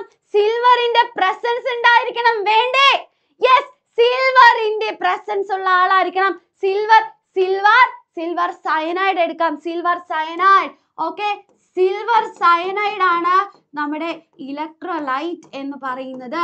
സിൽവർ സയനൈഡ് ആണ് ഇലക്ട്രോലൈറ്റ് എന്ന് പറയുന്നത്. അപ്പോൾ മക്കളെ എന്നിട്ട് നമ്മൾ ഇവരെ ബാറ്ററിയിലേക്ക് കണക്ട് ചെയ്യണം. ബാറ്ററിയിലേക്ക് കണക്ട് ചെയ്യണം. അപ്പൊ മക്കളെ ഇരുമ്പ് വളയെ ബാറ്ററിയുടെ നെഗറ്റീവ് സൈഡിലേക്കും ദാ ചെറിയ വരയിലേക്കും നമ്മൾ സിൽവറിനെ ബാറ്ററിന്റെ വലിയ വര അഥവാ പോസിറ്റീവ് സൈഡിലേക്കുമാണ് അല്ലെ? ആരുടെ മേലെയാണോ പ്ലേറ്റ് ചെയ്യേണ്ടത്? അല്ലെ ആരുടെ മേലെയാണോ പ്ലേറ്റ് ചെയ്യേണ്ടത്? അപ്പൊ അയാളെ നമ്മൾ നെഗറ്റീവ് സൈഡിലേക്കും ആരെ കൊണ്ടാണോ പ്ലേറ്റ് ചെയ്യിക്കേണ്ടത്? അയാളെ നമ്മൾ പോസിറ്റീവ് സൈഡിലേക്കും കണക്ട് ചെയ്യും. റെഡി അല്ലേ? റെഡി അല്ലേ? അപ്പൊ മക്കളെ നിങ്ങൾക്ക് ഇലക്ട്രോലൈറ്റ് എന്താണെന്നൊക്കെ വേണമെങ്കിൽ ചോദ്യം ചോദിക്കാട്ടോ ഇന്നത്തെ എക്സാമിന് അപ്പൊ ഇലക്ട്രോലൈറ്റ് എന്താണ്? ഇലക്ട്രിസിറ്റി കടന്ന് പാസ് ചെയ്യുമ്പോൾ അല്ലെ ഡീകമ്പോസ് ചെയ്യുന്ന ആളെയാണ് നമ്മൾ ഇലക്ട്രോലൈറ്റ് എന്ന് പറയുന്നത്. വൈദ്യുതി കടത്തി വിടുമ്പോൾ വിഘടിക്കുന്ന ആളെയാണ് നമ്മൾ എന്ത് പറയാ എന്ത് പറയാ ഇലക്ട്രോലൈറ്റ് എന്ന് പറയുന്നത്. Ready ready ready yes yes yes yes അപ്പൊ ഇലക്ട്രോപ്ലേറ്റിംഗ് നമുക്ക് ക്വസ്റ്റ്യൻ നോക്കാം. അല്ലെ? ഇവിടെ ഏത് എനർജിയാണ് യൂസ് ചെയ്യുന്നത്? ഏത് ഫോം ഓഫ് എനർജിയാണ് ഇവിടെ ഉപയോഗിച്ച ഊർജ രൂപം മക്കളെ? ഏതാണ്? ഏതാണ് ഏതാണ്? വേഗം പറഞ്ഞേ. ഏത്? യെസ് ഇലക്ട്രിക്കൽ ഇലക്ട്രിസിറ്റി എന്ന് എഴുതിയാ പോരാ. ഇലക്ട്രിക്കൽ എനർജി വൈദ്യുതോർജം എന്താണ്? വൈദ്യുതോർജം എന്ന് തന്നെ എഴുതി കൊടുക്കണം കേട്ടോ. വൈദ്യുതോർജം എന്ന് തന്നെ എഴുതി കൊടുക്കണം. ഇലക്ട്രിക്കൽ എനർജി എന്ന് എഴുതി കൊടുക്കണം. ഇലക്ട്രിസിറ്റി എന്ന് മാത്രം എഴുതിയാൽ പോരാ. ഇലക്ട്രിക്കൽ എനർജി ഇലക്ട്രിക്കൽ എനർജി എന്ന് എഴുതി കൊടുക്കണേ. ഇനി അങ്ങനെയാണെങ്കിൽ ഇതിന്റെ നെയിം എന്താണ്? നമ്മൾ ഓൾറെഡി കണ്ടുപിടിച്ചു. ഈ ഡയഗ്രം കണ്ടാൽ നമുക്കറിയാം ഇത് ഇലക്ട്രോപ്ലേറ്റിംഗ് അഥവാ സോറി വൈദ്യുത ലേപനമാണ്. ഇനി അങ്ങനെയാണെങ്കിൽ ദാ മക്കൾ ചോദിച്ചിരിക്കുന്നു നമ്മളിപ്പോൾ പൂശിയത് വെള്ളിയാണ് ഇരുമ്പിന്റെ മേൽ അങ്ങനെയാണെങ്കിൽ നമുക്ക് പൂശേണ്ടത് കോപ്പർ ആണെങ്കിൽ എടുക്കേണ്ട ഇലക്ട്രോലൈറ്റ് ഏതാണ്? ചെമ്പാണ് പൂശേണ്ടതെങ്കിൽ ചെമ്പാണ് പ്ലേറ്റ് ചെയ്യേണ്ടതെങ്കിൽ നമ്മൾ ഉപയോഗിക്കുക yes copper sulphate very good അല്ലെ? അല്ലെ? നമ്മൾക്ക് നമുക്ക് ചെമ്പാണ് കോപ്പർ ആണ് ഇരുമ്പിന്റെ മേലെ പ്ലേറ്റ് ചെയ്യേണ്ടതെങ്കിൽ നമ്മൾ എടുക്കുന്ന ഇലക്ട്രോലൈറ്റ് കോപ്പറിന്റെ പ്രസൻസ് ഉണ്ടാവണം എന്ന് നമുക്കറിയാം. അപ്പോൾ നമ്മൾ ഇവിടെ എടുക്കുക. C U S O four അഥവാ കോപ്പർ സൾഫേറ്റ് ആണ്. C U S O four ready ready അപ്പൊ ദാ മക്കളെ ഇതാ നമ്മൾ ലാസ്റ്റത്തെ ക്വസ്റ്റ്യനിലേക്ക് കിടക്കുകയാണ്. ലാസ്റ്റത്തെ ഇമ്പോർട്ടന്റ് ടോപ്പിക് എന്ന് പറയുന്നതാണ് സെല്ലുകളുടെ പോർഷൻ അത് പഠിക്കാതെ പോരുത്. നാല് സെല്ല് നിങ്ങൾക്ക് പഠിക്കാനുണ്ട്. മെർക്കുറി സെല്ലുണ്ട് അതേപോലെ തന്നെ നിക്കൽ കാഡ്മിയം സെല്ലുണ്ട് ലിഥിയം അയോൺ സെല്ലുണ്ട് അല്ലേ? അല്ലേ മക്കളെ? അല്ലേ മക്കളെ? ലിഥിയം അയൺ സെല്ലുണ്ട് മെർക്കുറി സെല്ലുണ്ട് ആ യെസ് ഡ്രൈ സെല്ലുണ്ട് മെർക്കുറി സെല്ലുണ്ട് നിക്കൽ കാഡ്മിയം സെല്ലുണ്ട് ലിഥിയം അയോൺ സെല്ലുണ്ട്. അപ്പോൾ മെർക്കുറി സെല്ല് വാച്ചിലും കാൽക്കുലേറ്ററിലും ഒക്കെ ആണെങ്കിൽ ലാപ്ടോപ്പിലും മൊബൈലിലും ഒക്കെ യെസ് ലിഥിയം അയോൺ സെല്ലാണ്. ക്ലാസ് കഴിഞ്ഞിട്ട് പാട്ട് പാടിത്തരാം. ശരി ലിഥിയം അയോൺ സെല്ലാണ്. ലിഥിയം ലിഥിയം ലിഥിയം അയോൺ സെല്ലാണ് നമ്മൾ ഉപയോഗിക്കുന്നത്. ലിഥിയം അയോൺ ആണ് നമ്മൾ ഉപയോഗിക്കുന്നത്. ഡ്രൈ ആണ് നമ്മൾ റിമോട്ടിലൊക്കെ ഉപയോഗിക്കുന്നത്. ഒക്കെ ഓർത്തു വെക്കാം കേട്ടോ. ആ ഒരു ബോക്സിലെ ടെക്സ്റ്റ് ബുക്കിൽ അത് വായിച്ചിട്ട് വേണം കേട്ടോ മക്കൾ പോവാനായിട്ട്. റെഡി റെഡി അപ്പൊ എന്താ കെമിക്കൽ ചേഞ്ചസ് എന്ന് പറഞ്ഞ വളരെ ഇമ്പോർട്ടന്റ് ആയിട്ടുള്ള ചാപ്റ്റർ ആണ്. മാർക്ക് കൂടുതൽ വരുന്ന ചാപ്റ്റർ ആണ്. അപ്പൊ നമ്മൾ ചേച്ചി ഓക്കെ നമ്മൾ എന്താണ്? നമ്മൾ റെഡി ആയിട്ട് പഠിച്ചു. സെറ്റ് ആക്കിയില്ലേ മക്കളെ? കുറച്ച് പവർ ഇട്ടേ. പവർ ഇട്ടേ മിസ് കുറച്ച് വെള്ളം കുടിക്കട്ടെ. എന്റെ മക്കൾ വെള്ളം കുടിച്ചു. I love you three thousand എനിക്ക് എല്ലാവരും ഇഷ്ടമാണ് I love you too three okay okay ready അടുത്ത ചാപ്റ്ററിലേക്ക് നമുക്ക് പോവാം. അതിനു മുന്നേ മിസ് ഇത്തിരി വെള്ളം കുടിക്കുന്നുണ്ട്. പാട്ട് പാടല്ലേ മിസ്സേ ഞാൻ ഓടുന്നല്ലേ പറയുന്നത്? ഇല്ല ഞാൻ പാടില്ല. ഞാൻ പാടാം. പിന്നെ ശരണ്യ മിസ്സിന്റെ ഇനി ഒരു ചാപ്റ്റർ കൂടെ എടുക്കാനുണ്ട്. എന്നിട്ട് നമുക്കൊരു പാട്ട് പാടി പിരിയാം റെഡി അപ്പതാ നമ്മുടെ മെറ്റൽസ് അഥവാ ലോഹങ്ങൾ. യെസ് പവറായി പവറായി ഫുൾ പവറായി ഇനി നമ്മൾ അടുത്ത് പോകുന്നത് മെറ്റൽസ് അഥവാ ലോഹങ്ങൾ എന്ന ചാപ്റ്ററിലേക്കാണ് മെറ്റൽസ് അഥവാ ലോഹങ്ങൾ എന്ന ചാപ്റ്ററിലേക്കാണ് അപ്പൊ മക്കളെ നിങ്ങൾ ആദ്യം ഓർത്തിരിക്കേണ്ടത് മെറ്റൽസിന്റെ കുറെ പ്രോപ്പർട്ടീസ് സവിശേഷതകളാണ്. അല്ലെ മെറ്റൽസിനെ നമുക്ക് നന്നായി അടിച്ചു പരത്താൻ പറ്റും. Metal can be beaten into thin sheets അല്ലെ? നമുക്ക് തിൻ ഷീറ്റ്സ് തിൻ ഷീറ്റ്സ് ആക്കി മാറ്റാനായിട്ട് പറ്റും. അതിനാണ് നമ്മൾ മാലിയബിലിറ്റി എന്ന് പറയുന്നത്. അല്ലെ? നമ്മുടെ അലൂമിനിയം ഫോയിലൊക്കെ ഇങ്ങനെ അടിച്ചു പരത്തി അടിച്ചു പരത്തി പേപ്പർ പോലെ ആക്കി നമ്മൾ ഉപയോഗിക്കുന്നതാണ്. ഇനി രണ്ടാമത്താണ് ഡക്റ്റിലിറ്റി വലിച്ചു നീട്ടാൻ പറ്റുന്ന പ്രോപ്പർട്ടിയാണ് ഡക്റ്റിലിറ്റി എന്ന് പറയുന്നത്. അതേപോലെ പുതുതായി കട്ട് ചെയ്ത സർഫസിൽ അല്ലെ ന്യൂലി കട്ട് സർഫസ് എടുത്തു കഴിഞ്ഞാൽ അവിടെ തിളക്കം തിളക്കമുണ്ടാവും. അതിനെ മെറ്റാലിക് ലെസ്റ്റർ അഥവാ ലോഹദ്യുതി എന്ന് പറയുന്നു. ഇനി തെർമൽ കണ്ടക്ടിവിറ്റി അഥവാ താപജാലകത അല്ലെ? താപത്തെ കടത്തിവിടാനുള്ള കഴിവാണ്. ഇനി ഒരു പതിനഞ്ച് ഇരുപത് മിനിറ്റ് കൂടെ ഉള്ളൂ കേട്ടോ ഓക്കെ ഓക്കെ എന്താണ് താപചാലകത? താപത്തെ കടത്തിവിടാനുള്ള കഴിവാണ് തെർമൽ കണ്ടക്ടിവിറ്റി അതേപോലെ തന്നെ വൈദ്യുതി അഥവാ ഇലക്ട്രിസിറ്റിയെ കണ്ടക്ട് ചെയ്യാനുള്ള കഴിവിനെ നമ്മൾ ഇലക്ട്രിക്കൽ കണ്ടക്ടിവിറ്റി അഥവാ വൈദ്യുത ചാലകത എന്ന് പറയുന്നുണ്ട്. റെഡി മക്കൾ ഇനി നമുക്ക് പഠിക്കാനുള്ള ആരൊക്കെയാണ്? സോണോറിറ്റി അല്ലെ? സോണോറിറ്റി എന്റെ മക്കൾ എന്ത് ചെയ്യണം? സോണോറിറ്റി സൗണ്ട് പ്രൊഡ്യൂസ് ചെയ്യാനുള്ള കഴിവാണ് അല്ലെ? ഇതിന്റെയൊക്കെ എക്സാമ്പിൾ പഠിക്കുക മാലിബിലിറ്റി ഏറ്റവും കൂടുതലുള്ളത് ആർക്കാണ്? നമ്മുടെ ഗോൾഡിനാണ് മറക്കരുത്. ഡക്റ്റിലിറ്റി ഏറ്റവും കൂടുതലുള്ളത് ആർക്കാണ്? നമ്മുടെ പ്ലാറ്റിനം ചേട്ടനാണ്. പ്ലാറ്റിനം ചേട്ടനാണ്. പിന്നെ അതേപോലെ തെർമൽ കണ്ടക്ടിവിറ്റിയും ഇലക്ട്രിക്കൽ കണ്ടക്ടിവിറ്റിയും ഏറ്റവും കൂടുതലുള്ളത് ആർക്കാണ്? ആർക്കാണ്? നമ്മുടെ സിൽവറിനാണ്. ഇത് രണ്ടും നമ്മുടെ സിൽവറിനാണ് മറന്നു പോരുത് ഇനി മെറ്റൽസ് പൊതുവെ നല്ല ഹാർഡാണ് കാഠിന്യമുള്ളതാണ്. പക്ഷേ ചില മെറ്റൽസ് സോഫ്റ്റ് ആണ് കത്തി കൊണ്ട് കട്ട് ചെയ്യാൻ പറ്റും. അവരെ നമ്മൾ എന്ത് വിളിച്ചു മക്കളെ? സോഫ്റ്റ് മെറ്റൽസ് സോഫ്റ്റ് മെറ്റൽസ് അഥവാ മൃദുലോഹങ്ങൾ എന്ന് പറയും. അതിന് എക്സാമ്പിൾ ആണ്. സോഡിയം പൊട്ടാസ്യം കാൽസ്യം ഒക്കെ. റെഡി റെഡി ഉയർന്ന മെൽറ്റിംഗ് പോയിന്റ് അഥവാ ദ്രവണാങ്കമുണ്ട് പക്ഷെ ചില ചില മെറ്റൽസ് എന്താണ്? ലോ മെൽറ്റിംഗ് പോയിന്റ് ലോ ടെമ്പറേച്ചറിൽ തന്നെ മെൽറ്റ് ചെയ്യും വളരെ കുറഞ്ഞ താപത്തിൽ തന്നെ ഉരുകുന്നവയാണ്. അതിന് എക്സാമ്പിൾ പറഞ്ഞേ. ലോ മെൽറ്റിംഗ് പോയിന്റ് ഉള്ള മെറ്റൽസ് അഥവാ ഉയർന്ന താഴ്ന്ന ദ്രവണാംഗ താഴ്ന്ന തിളനിലയുള്ള ലോഹങ്ങൾക്ക് യെസ് യെസ് സോഡിയം അല്ല. Yes G C M very good G C low melting point ഉള്ള ആൾക്കാരാണ് നമ്മുടെ ജി സി എം അല്ലെ? Gallium caesium mercury gallium caesium mercury. മറന്നു പോവരുത് മറന്നു പോരുത് മറന്നു പോരുത് ഇനി എന്താണ് പറയാനുള്ളത്? യെസ് നമ്മൾ അപ്പൊ എല്ലാവരും പഠിച്ചു. ഇനി ജനറൽ പ്രോപ്പർട്ടീസ് ഒക്കെ കഴിഞ്ഞു. അങ്ങനെയാണെങ്കിൽ ഈ ഒരു ടേബിൾ കംപ്ലീറ്റ് ചെയ്യാൻ പറഞ്ഞിട്ടുണ്ട് ടങ്സ്റ്റൺ ടങ്സ്റ്റൺ നമ്മൾ ബൾബിനുള്ളിൽ ഉപയോഗിക്കുക അല്ലെ? ടങ്സ്റ്റൺ എന്ന് കേട്ടാൽ അപ്പം നമ്മുടെ ബൾബ് ഓർമ്മ വരണം ബൾബ് കത്തണം മനസ്സിൽ ഓക്കെ അപ്പോൾ എന്താണ്? ടങ്സ്റ്റൺ നമ്മൾ ഉപയോഗിക്കുന്നത് എവിടെയാണ് മക്കളെ? ടങ്സ്റ്റണെ ഫിലമെന്റ് ആയിട്ട് ഫിലമെന്റ് ആയിട്ട് ബൾബിനുള്ളിൽ നമ്മൾ ഉപയോഗിക്കുന്നു. ബൾബിലെ ഫിലമെന്റ് ആയിട്ടാണ് ഉപയോഗിക്കുന്നത്. നമ്മുടെ ടങ്സ്റ്റന്റെ ഹൈ ഡക്റ്റിലിറ്റി അല്ലെ ഉയർന്ന ഡക്റ്റിലിറ്റിയും ഉയർന്ന ദ്രവണാങ്കവും എന്ന പ്രോപ്പർട്ടിയാണ് നമ്മൾ ഉപയോഗിച്ചിരിക്കുന്നത്. ഇനി കോപ്പറിനെ കുക്കിംഗ് വെസൽസ് അഥവാ പാചക പാത്രങ്ങൾ നിർമ്മിക്കാൻ ഉപയോഗിക്കുന്നുണ്ട്. അത് ഏത് പ്രോപ്പർട്ടിയാണ് യൂസ് ചെയ്യുന്നത്? വേഗം പറഞ്ഞേ വേഗം പറഞ്ഞേ വേഗം പറഞ്ഞേ വേഗം പറഞ്ഞേ വേഗം പറഞ്ഞേ yes malleability ductility thermal conductivity എല്ലാം എഴുതാം. Malleability malleability malleability malleability ductility ductility പിന്നെ തെർമൽ കണ്ടക്ടിവിറ്റി എഴുതാം കേട്ടോ താപചാലകത എഴുതാം.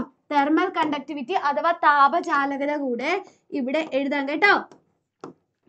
റെഡി റെഡി റെഡി മക്കളെ? റെഡി റെഡി റെഡി ഇനി ഇതാ അടുത്തൊരു ചോദ്യം ഉണ്ട്. ആ പോർഷൻ കഴിഞ്ഞാൽ ജനറൽ പ്രോപ്പർട്ടീസ് കഴിഞ്ഞു കഴിഞ്ഞാൽ നമുക്ക് പഠിക്കാനുള്ളത് മെറ്റൽസിന്റെ റിയാക്ഷൻ ആണ്. അല്ലെ? മെറ്റൽസിന്റെ റിയാക്ഷൻ ആണ്. മെറ്റൽസ് എന്ത് ചെയ്യും? എയർ വാട്ടർ അല്ലെ? എയർ വാട്ടർ ആൻഡ് ആസിഡ് ആയിട്ട് റിയാക്ട് ചെയ്യും. അല്ലെ? വാതകം അതേപോലെ തന്നെ പിന്നെന്താണ്? ആ ജലം അതേപോലെ ആസിഡ് ആയിട്ട് റിയാക്ട് ചെയ്യും.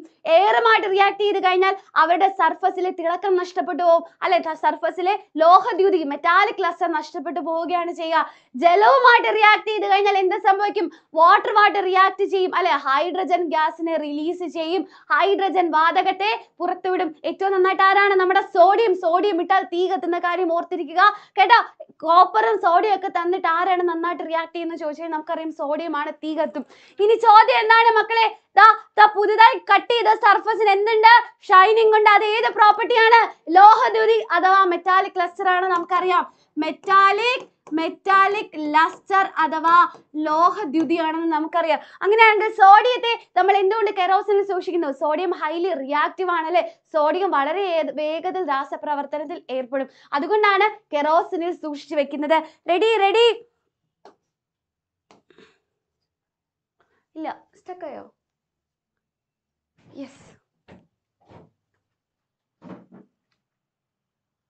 ഇപ്പൊ കാണുന്നില്ലേ? സ്റ്റക്ക് മാറിയില്ലേ? ഇപ്പൊ കാണുന്നില്ലേ? കാണുന്നില്ലേ? റെഡി ഇപ്പൊ കാണുന്നില്ലേ? മിസ് ഒന്ന് സ്റ്റക്കായി പോയല്ലേ? സോഡിയത്തെ മണ്ണെണ്ണ സൂക്ഷിക്കാൻ എന്തായിരുന്നു മക്കളെ? കാരണം കാരണം നമ്മുടെ സോഡിയം ഹൈലി റിയാക്റ്റീവ് ആണ്. ഹൈലി റിയാക്റ്റീവ് ആണ്. വളരെ വേഗത്തിൽ രാസപ്രവർത്തനത്തിൽ ഏർപ്പെടുന്നത് കൊണ്ടാണ്. അല്ലേ മക്കളെ? യെസ് അങ്ങനെയാണെങ്കിൽ അങ്ങനെയാണെങ്കിൽ ഈ ചോദ്യത്തിനുള്ള ഉത്തരം കൂടെ വേഗം പറഞ്ഞേ. നമുക്കറിയാം മിസ് പറഞ്ഞിട്ടുണ്ടായിരുന്നു the zinc iron magnesium copper ഇങ്ങനെയുള്ള മെറ്റൽസിന് തന്നിട്ട് ആസിഡുമായിട്ട് ഏറ്റവും വേഗത്തിൽ റിയാക്ട് ചെയ്യുന്ന ആരാന്ന് ചോദിച്ചു കഴിഞ്ഞാൽ നമ്മൾ എന്ത് പറയും? എന്ത് പറയും? മഗ്നീഷ്യത്തിന്റെ പേരുണ്ടോ? മഗ്നീഷ്യത്തെ ചൂസ് ചെയ്താ മക്കളെ. മഗ്നീഷ്യം ആയിരിക്കും വേറെ ആരും ആയിരിക്കില്ല. അപ്പോൾ മഗ്നീഷ്യമാണ് ഹൈഡ്രോക്ലോറിക് ആസിഡുമായിട്ട് ഏറ്റവും വേഗത്തിൽ ഇമ്മീഡിയറ്റ് ആയിട്ട് റിയാക്ട് ചെയ്യുന്ന ആൾ. അപ്പോൾ അവർ റിയാക്ട് ചെയ്താൽ നമുക്കറിയാം കുമിളകൾ രൂപം കൊള്ളും ബബിൾസ് ഫോം ചെയ്യും. അല്ലെ? ആ ബബിൾസ് ഫോം ചെയ്യുന്നത് ആരുടെ പ്രസൻസ് കൊണ്ടാണ്? വേഗം പറഞ്ഞേ വേഗം പറഞ്ഞേ വേഗം പറഞ്ഞേ. ആരുടെ പ്രസൻസ് കൊണ്ടാണ് ബബിൾസ് ഫോം ചെയ്യുന്നത്? അറിയില്ലേ? മിസ് യെസ് ഹൈഡ്രജൻ ഗ്യാസിന്റെ പ്രസൻസ് കൊണ്ടാണ്. അപ്പോൾ മെറ്റൽസ് അഥവാ ലോഹങ്ങൾ ആസിഡുമായിട്ട് റിയാക്ട് ചെയ്താൽ പുറത്തുവിടുന്ന ആസിഡുമായിട്ട് റിയാക്ട് ചെയ്താൽ പുറത്തുവിടുന്ന വാതകം അഥവാ ഗ്യാസ് എന്ന് പറയുന്നത് ആരാണ്? നമ്മുടെ ഹൈഡ്രജൻ ഗ്യാസ് അഥവാ ഹൈഡ്രജൻ വാതകമാണ്. റെഡി അല്ലേ എന്റെ ചക്കര കുട്ടികൾക്ക് റെഡി അല്ലേ സെറ്റ് അല്ലേ അപ്പൊ ഇനി ഒരു ചോദ്യം ഉണ്ട് മക്കളെ. ആ ദാ ഇനി നമുക്ക് പഠിക്കാനുള്ള പോർഷൻ എന്ന് പറഞ്ഞ ലോഹനാശനം അഥവാ കൊറോഷൻ ഓഫ് മെറ്റൽസ് ആണ് അല്ലെ? അറ്റ്മോസ്ഫിയറിക് എയറിലുള്ള കണ്ടൻസ് ആയിട്ടുള്ള ഓക്സിജൻ മോയിസ്ചർ സോൾട്ട് ഒക്കെ ആയിട്ട് എന്ത് ചെയ്യും മക്കളെ? നമ്മുടെ മെറ്റൽസ് റിയാക്ട് ചെയ്യും അവർ നശിച്ചു പോകും അല്ലേ? അന്തരീക്ഷത്തിലുള്ള ഓക്സിജൻ നീരാവി അതേപോലെ തന്നെ സോൾട്ട് ഉപ്പ് കട ഉപ്പ് കണങ്ങളൊക്കെ ആയിട്ട് നമ്മുടെ മെറ്റൽസ് ലോഹങ്ങൾ പ്രവർത്തനത്തിൽ ഏർപ്പെട്ട് അവരുടെ നാശനത്തിന് കാരണമാകും യെസ് ക്യാമറ അടിച്ചു പോയി ഗോയ്സ് റെഡിയായി ഓക്കെ അതിനാണ് നമ്മൾ ലോഹനാശനം അഥവാ കൊറോഷൻ ഓഫ് മെറ്റൽസ് എന്ന് പറഞ്ഞത്. അല്ലേ മക്കളെ? അങ്ങനെയാണെങ്കിൽ നമുക്കറിയാം ഇരുമ്പാണ് ഏറ്റവും വേഗത്തിൽ കൊറോഡ് ചെയ്യുന്നത്. ലോഹനാശനത്തിൽ ഏറ്റവും വേഗത്തിൽ ഏർപ്പെടുന്നത് ആരാണ്? നമ്മുടെ ഇരുമ്പാണ് അതുകൊണ്ടാണല്ലേ നമ്മുടെ ജനാല നമ്മുടെ വെട്ടുകെട്ടി മൺവെട്ടി ഇതൊക്കെ എന്ത് ചെയ്യുന്നത്? എണ്ണ തൂത്ത് വെക്കുന്നത് പെയിന്റ് അടിച്ച് വെക്കുന്നതൊക്കെ. റെഡി അങ്ങനെയാണെങ്കിൽ നോക്കാം. കൊറോഷൻ ഓഫ് അയൺ അയണിന്റെ നാശനത്തിനെ അയണിന്റെ നാശനത്തിനെ സ്വാധീനിക്കുന്ന രണ്ട് കാര്യങ്ങൾ ഏതൊക്കെയാണ്? ആ രണ്ട് കാര്യങ്ങൾ ഏതൊക്കെയാണ്? വേഗം പറഞ്ഞേ. വേഗം പറഞ്ഞേ വേഗം പറഞ്ഞേ. ഏതൊക്കെ പറയാം നമുക്ക്? യെസ് ആൻസർ എവിടെ? മക്കളെ answer yes oxygen water moisture അതേപോലെ തന്നെ സോൾട്ട് അല്ലെ ഉപ്പ് കണങ്ങൾ എന്നൊക്കെ നമുക്ക് പറയാം. ഇനി എന്താണ് അയണിനെ പെയിന്റുമായിട്ട് കോട്ട് ചെയ്യുമ്പോൾ കൊറോഷൻ റെഡ്യൂസ് ചെയ്യപ്പെടുന്നു. അയണിനെ പെയിന്റ് ഇരുമ്പിനെ പെയിന്റ് അടിച്ചു കഴിഞ്ഞാൽ ലോഹനാശനം നമുക്ക് കുറയുന്നു. എന്താണ് കാരണം? അല്ലെ അന്തരീക്ഷ വായുവുമായിട്ട് അന്തരീക്ഷ വായുവിലെ ഘടകങ്ങളുമായിട്ട് ഡയറക്റ്റ് കോണ്ടാക്റ്റിൽ വരുന്നില്ല അല്ലെ? നേരിട്ട് അവർ എന്ത് വരുന്നില്ല? നേരിട്ട് നേരിട്ട് അയ്യോ ആ വാക്ക് പോയി. കോണ്ടാക്ട് കോണ്ടാക്ട് അല്ല മറന്നുപോയി ഞാൻ. എനിക്ക് ആ വാക്ക് കിട്ടുന്നില്ല. പോട്ടെ പോട്ടെ ശരി. ഡയറക്റ്റ് കോണ്ടാക്റ്റിൽ വരുന്നില്ല അല്ലെ? നേരിട്ട് സ്പർശനത്തിൽ ഏർപ്പെടുന്നില്ല അല്ലെ? അല്ലെ? ഒരു ലെയർ ഫോം ചെയ്യാണ് ഒരു കോട്ടിങ് അവിടെ ഫോം ചെയ്യാണ്. അതുകൊണ്ടാണ് അതുകൊണ്ടാണ് എന്ത് പറ്റാത്തത്? എന്ത് പറ്റാത്തത്? നമ്മുടെ അയണിനെ പെയിന്റ് ചെയ്ത് കഴിഞ്ഞാൽ അവിടെ കൊറോഡ് ചെയ്യുന്നത് ഫാസ്റ്റ് വേഗത കുറയുന്നത്. അല്ലെ റെഡി ഇനി ലാസ്റ്റ് ക്വസ്റ്റ്യൻ ആണ് മക്കളെ. ഇമ്പോർട്ടന്റ് ആണ്. This is important okay butter മിൽക്കിനെ aluminium vessels store ചെയ്യുന്നില്ല. മോരിനെ നമ്മൾ അലൂമിനിയം പാത്രത്തിൽ സ്റ്റോർ ചെയ്യാറില്ല. എന്താണ് കാരണം? എന്താണ് കാരണം മക്കളെ? എന്താണ്? ബട്ടർ മിൽക്ക് അഥവാ മോര് എന്ന് പറയുന്നത് പാൽ പുളിച്ച് തൈരാവുന്നതാണ്. തൈരിൽ ആരുണ്ട്? ആസിഡ് ഉണ്ട് ലാക്ടിക് ആസിഡ് ഉണ്ട് അല്ലെ? ഈ തൈരിലുള്ള ആസിഡ് മോരിലുള്ള ആസിഡ് നമ്മുടെ അലൂമിനിയം എന്ന് പറയുന്നത് ഒരു ലോഹമാണ്. അലൂമിനിയമായിട്ട് റിയാക്ട് ചെയ്യും. അവിടെ എന്തുണ്ടാവും ഹൈഡ്രജൻ ഗ്യാസിനെ റിലീസ് ചെയ്യും. ഹൈഡ്രജൻ വാതകത്തെ പുറത്തേക്ക് വിടും. അതുകൊണ്ടാണ് സൂക്ഷിക്കാത്തത്. ഇനി കോപ്പറിനെ നമ്മൾ ഇലക്ട്രിക് വയറുകൾ ഉണ്ടാക്കാൻ ഉപയോഗിക്കുന്നത്. എന്തുകൊണ്ടാണ്? കോപ്പർ വൈദ്യുതിയെ കടത്തിവിടും. കോപ്പറിനെ നന്നായി വലിച്ചു നീട്ടാൻ കഴിയും. ഹൈ ഡക്റ്റിലിറ്റി ഉണ്ട്. അതേപോലെ തന്നെ ഇലക്ട്രിക്കൽ കണ്ടക്ടിവിറ്റി ഉള്ളത് കൊണ്ടാണ് കോപ്പറിനെ നമ്മൾ ഉപയോഗിക്കുന്നത്. ഇനി അയണിനെ കോസ്റ്റൽ ഏരിയാസിലുള്ള അയൺ വേഗത്തിൽ കൊറോഡ് ചെയ്യുന്നു. അല്ലെ? എന്താണ് മക്കളെ? തീരപ്രദേശങ്ങളിൽ ഇരുമ്പ് വളരെ വേഗത്തിൽ തുരുമ്പിക്കുന്നു. കാരണം എന്താണ്? കാരണം എന്താണ്? സോങ് പാടിത്തരാം. നമ്മുടെ ശരണ്യാമസിന്റെ പാട്ടോടെ കഴിഞ്ഞ ഒരു പാട്ട് പാടി നമ്മൾ ഇന്നത്തെ ക്ലാസ് അവസാനിപ്പിക്കും. ഓക്കെ ഓക്കെ എന്താണ്? എന്താണ്? എന്താണ് പറഞ്ഞത്? ഓ മൈ ഗോഡ് ഞാൻ വിഷയത്തിൽ നിന്ന് വ്യതിചലിച്ചു യെസ് തീരപ്രദേശം. കോസ്റ്റൽ റീജിയണിൽ എന്താണ് മക്കളെ? ഉപ്പിന്റെ ഉപ്പിന്റെ ഉപ്പ്. ഈ സാരിയില്ല മിസ്സിന് ഇത് ഇഷ്ടാണ് ഓക്കെ മൈക്കിന്റെ ഷേ ഉപ്പിന്റെ ഉപ്പിന്റെ എമൗണ്ട് കൂടുതലാണ് അല്ലെ സോൾട്ട് കണ്ടന്റ് കൂടുതലാണ് ഉപ്പ് ലവണങ്ങളുടെ പ്രസൻസ് കൂടുതലാണ് തീരപ്രദേശത്തേക്ക് പോകുമ്പോൾ. അതുകൊണ്ടാണ് അല്ലെ അതുകൊണ്ട് ഈ മോയ്സ്ചറും ഉപ്പ് കണങ്ങളൊക്കെ കൂടുതലായതുകൊണ്ടാണ് നമ്മൾ എന്ത് ചെയ്യുക? കോസ്റ്റൽ ഏരിയസിലുള്ള തുരുമ്പ് എന്ത് ചെയ്യുക? വേഗം കൊറോഡ് ചെയ്യുന്നത്. കോസ്റ്റൽ തീരപ്രദേശങ്ങളിലുള്ള തുരുമ്പ് വേഗത്തിൽ നശിച്ചു പോകുന്നതിനുള്ള കാരണമെന്ന് പറയുന്നത് അവിടെയുള്ള അന്തരീക്ഷത്തിൽ ഉപ്പിന്റെയും മോയ്സ്ചർ നീരാവിയുടെയും ജലാംശത്തിന്റെയും ഒക്കെ അളവ് വളരെ കൂടുതലായതുകൊണ്ടാണ്. റെഡി പാട്ട് പാടി തന്നിട്ട് മിസ് പോളും. റെഡി അല്ലേ? അപ്പതാ മക്കളെ നമ്മൾ സെറ്റ് ആയിട്ട് നമ്മൾ ഈ ചാപ്റ്റർ പഠിച്ചിരിക്കുകയാണ്. സെറ്റ് ആയിട്ട് പഠിച്ചിരിക്കുകയാണ്. അങ്ങനെയാണെങ്കിൽ ദാ നമ്മുടെ മൂന്നാമത്തെ ചാപ്റ്റർ ഇവിടെ സെറ്റാക്കി തരാനായിട്ട് നമ്മുടെ ശരണ്യ മിസ് ഇപ്പൊ വരെ മിസ് പോവില്ല. ഇനി മിസ് ഓടി വന്ന് മിസ് ഓൾ ദ ബെസ്റ്റ് പറഞ്ഞിട്ടേ മിസ് പോവുള്ളൂ കേട്ടോ അപ്പൊ റെഡി നമുക്ക് ശരണ്യ മിസ്സിനെ വിളിക്കട്ടെ? ശരണ്യ മിസ്സിന് വേണ്ടി കൊറേ കൊറേ കൊറേ പാട്ടൊക്കെ പാടിത്തരും. മിസ് പാട്ട് പാടി ചിരിപ്പിച്ചിട്ട് ഇന്ന് വിടുള്ളൂ. കൊറേ ഹാർട്ട് ഇട്ടേ മിസ് ഇപ്പൊ വിളിച്ചിട്ട് വരാം. അപ്പോഴത്തേക്ക് കൊറേ ഹാർട്ട് ഇട്ടോ? ശരണ്യ മിസ് വരട്ടെ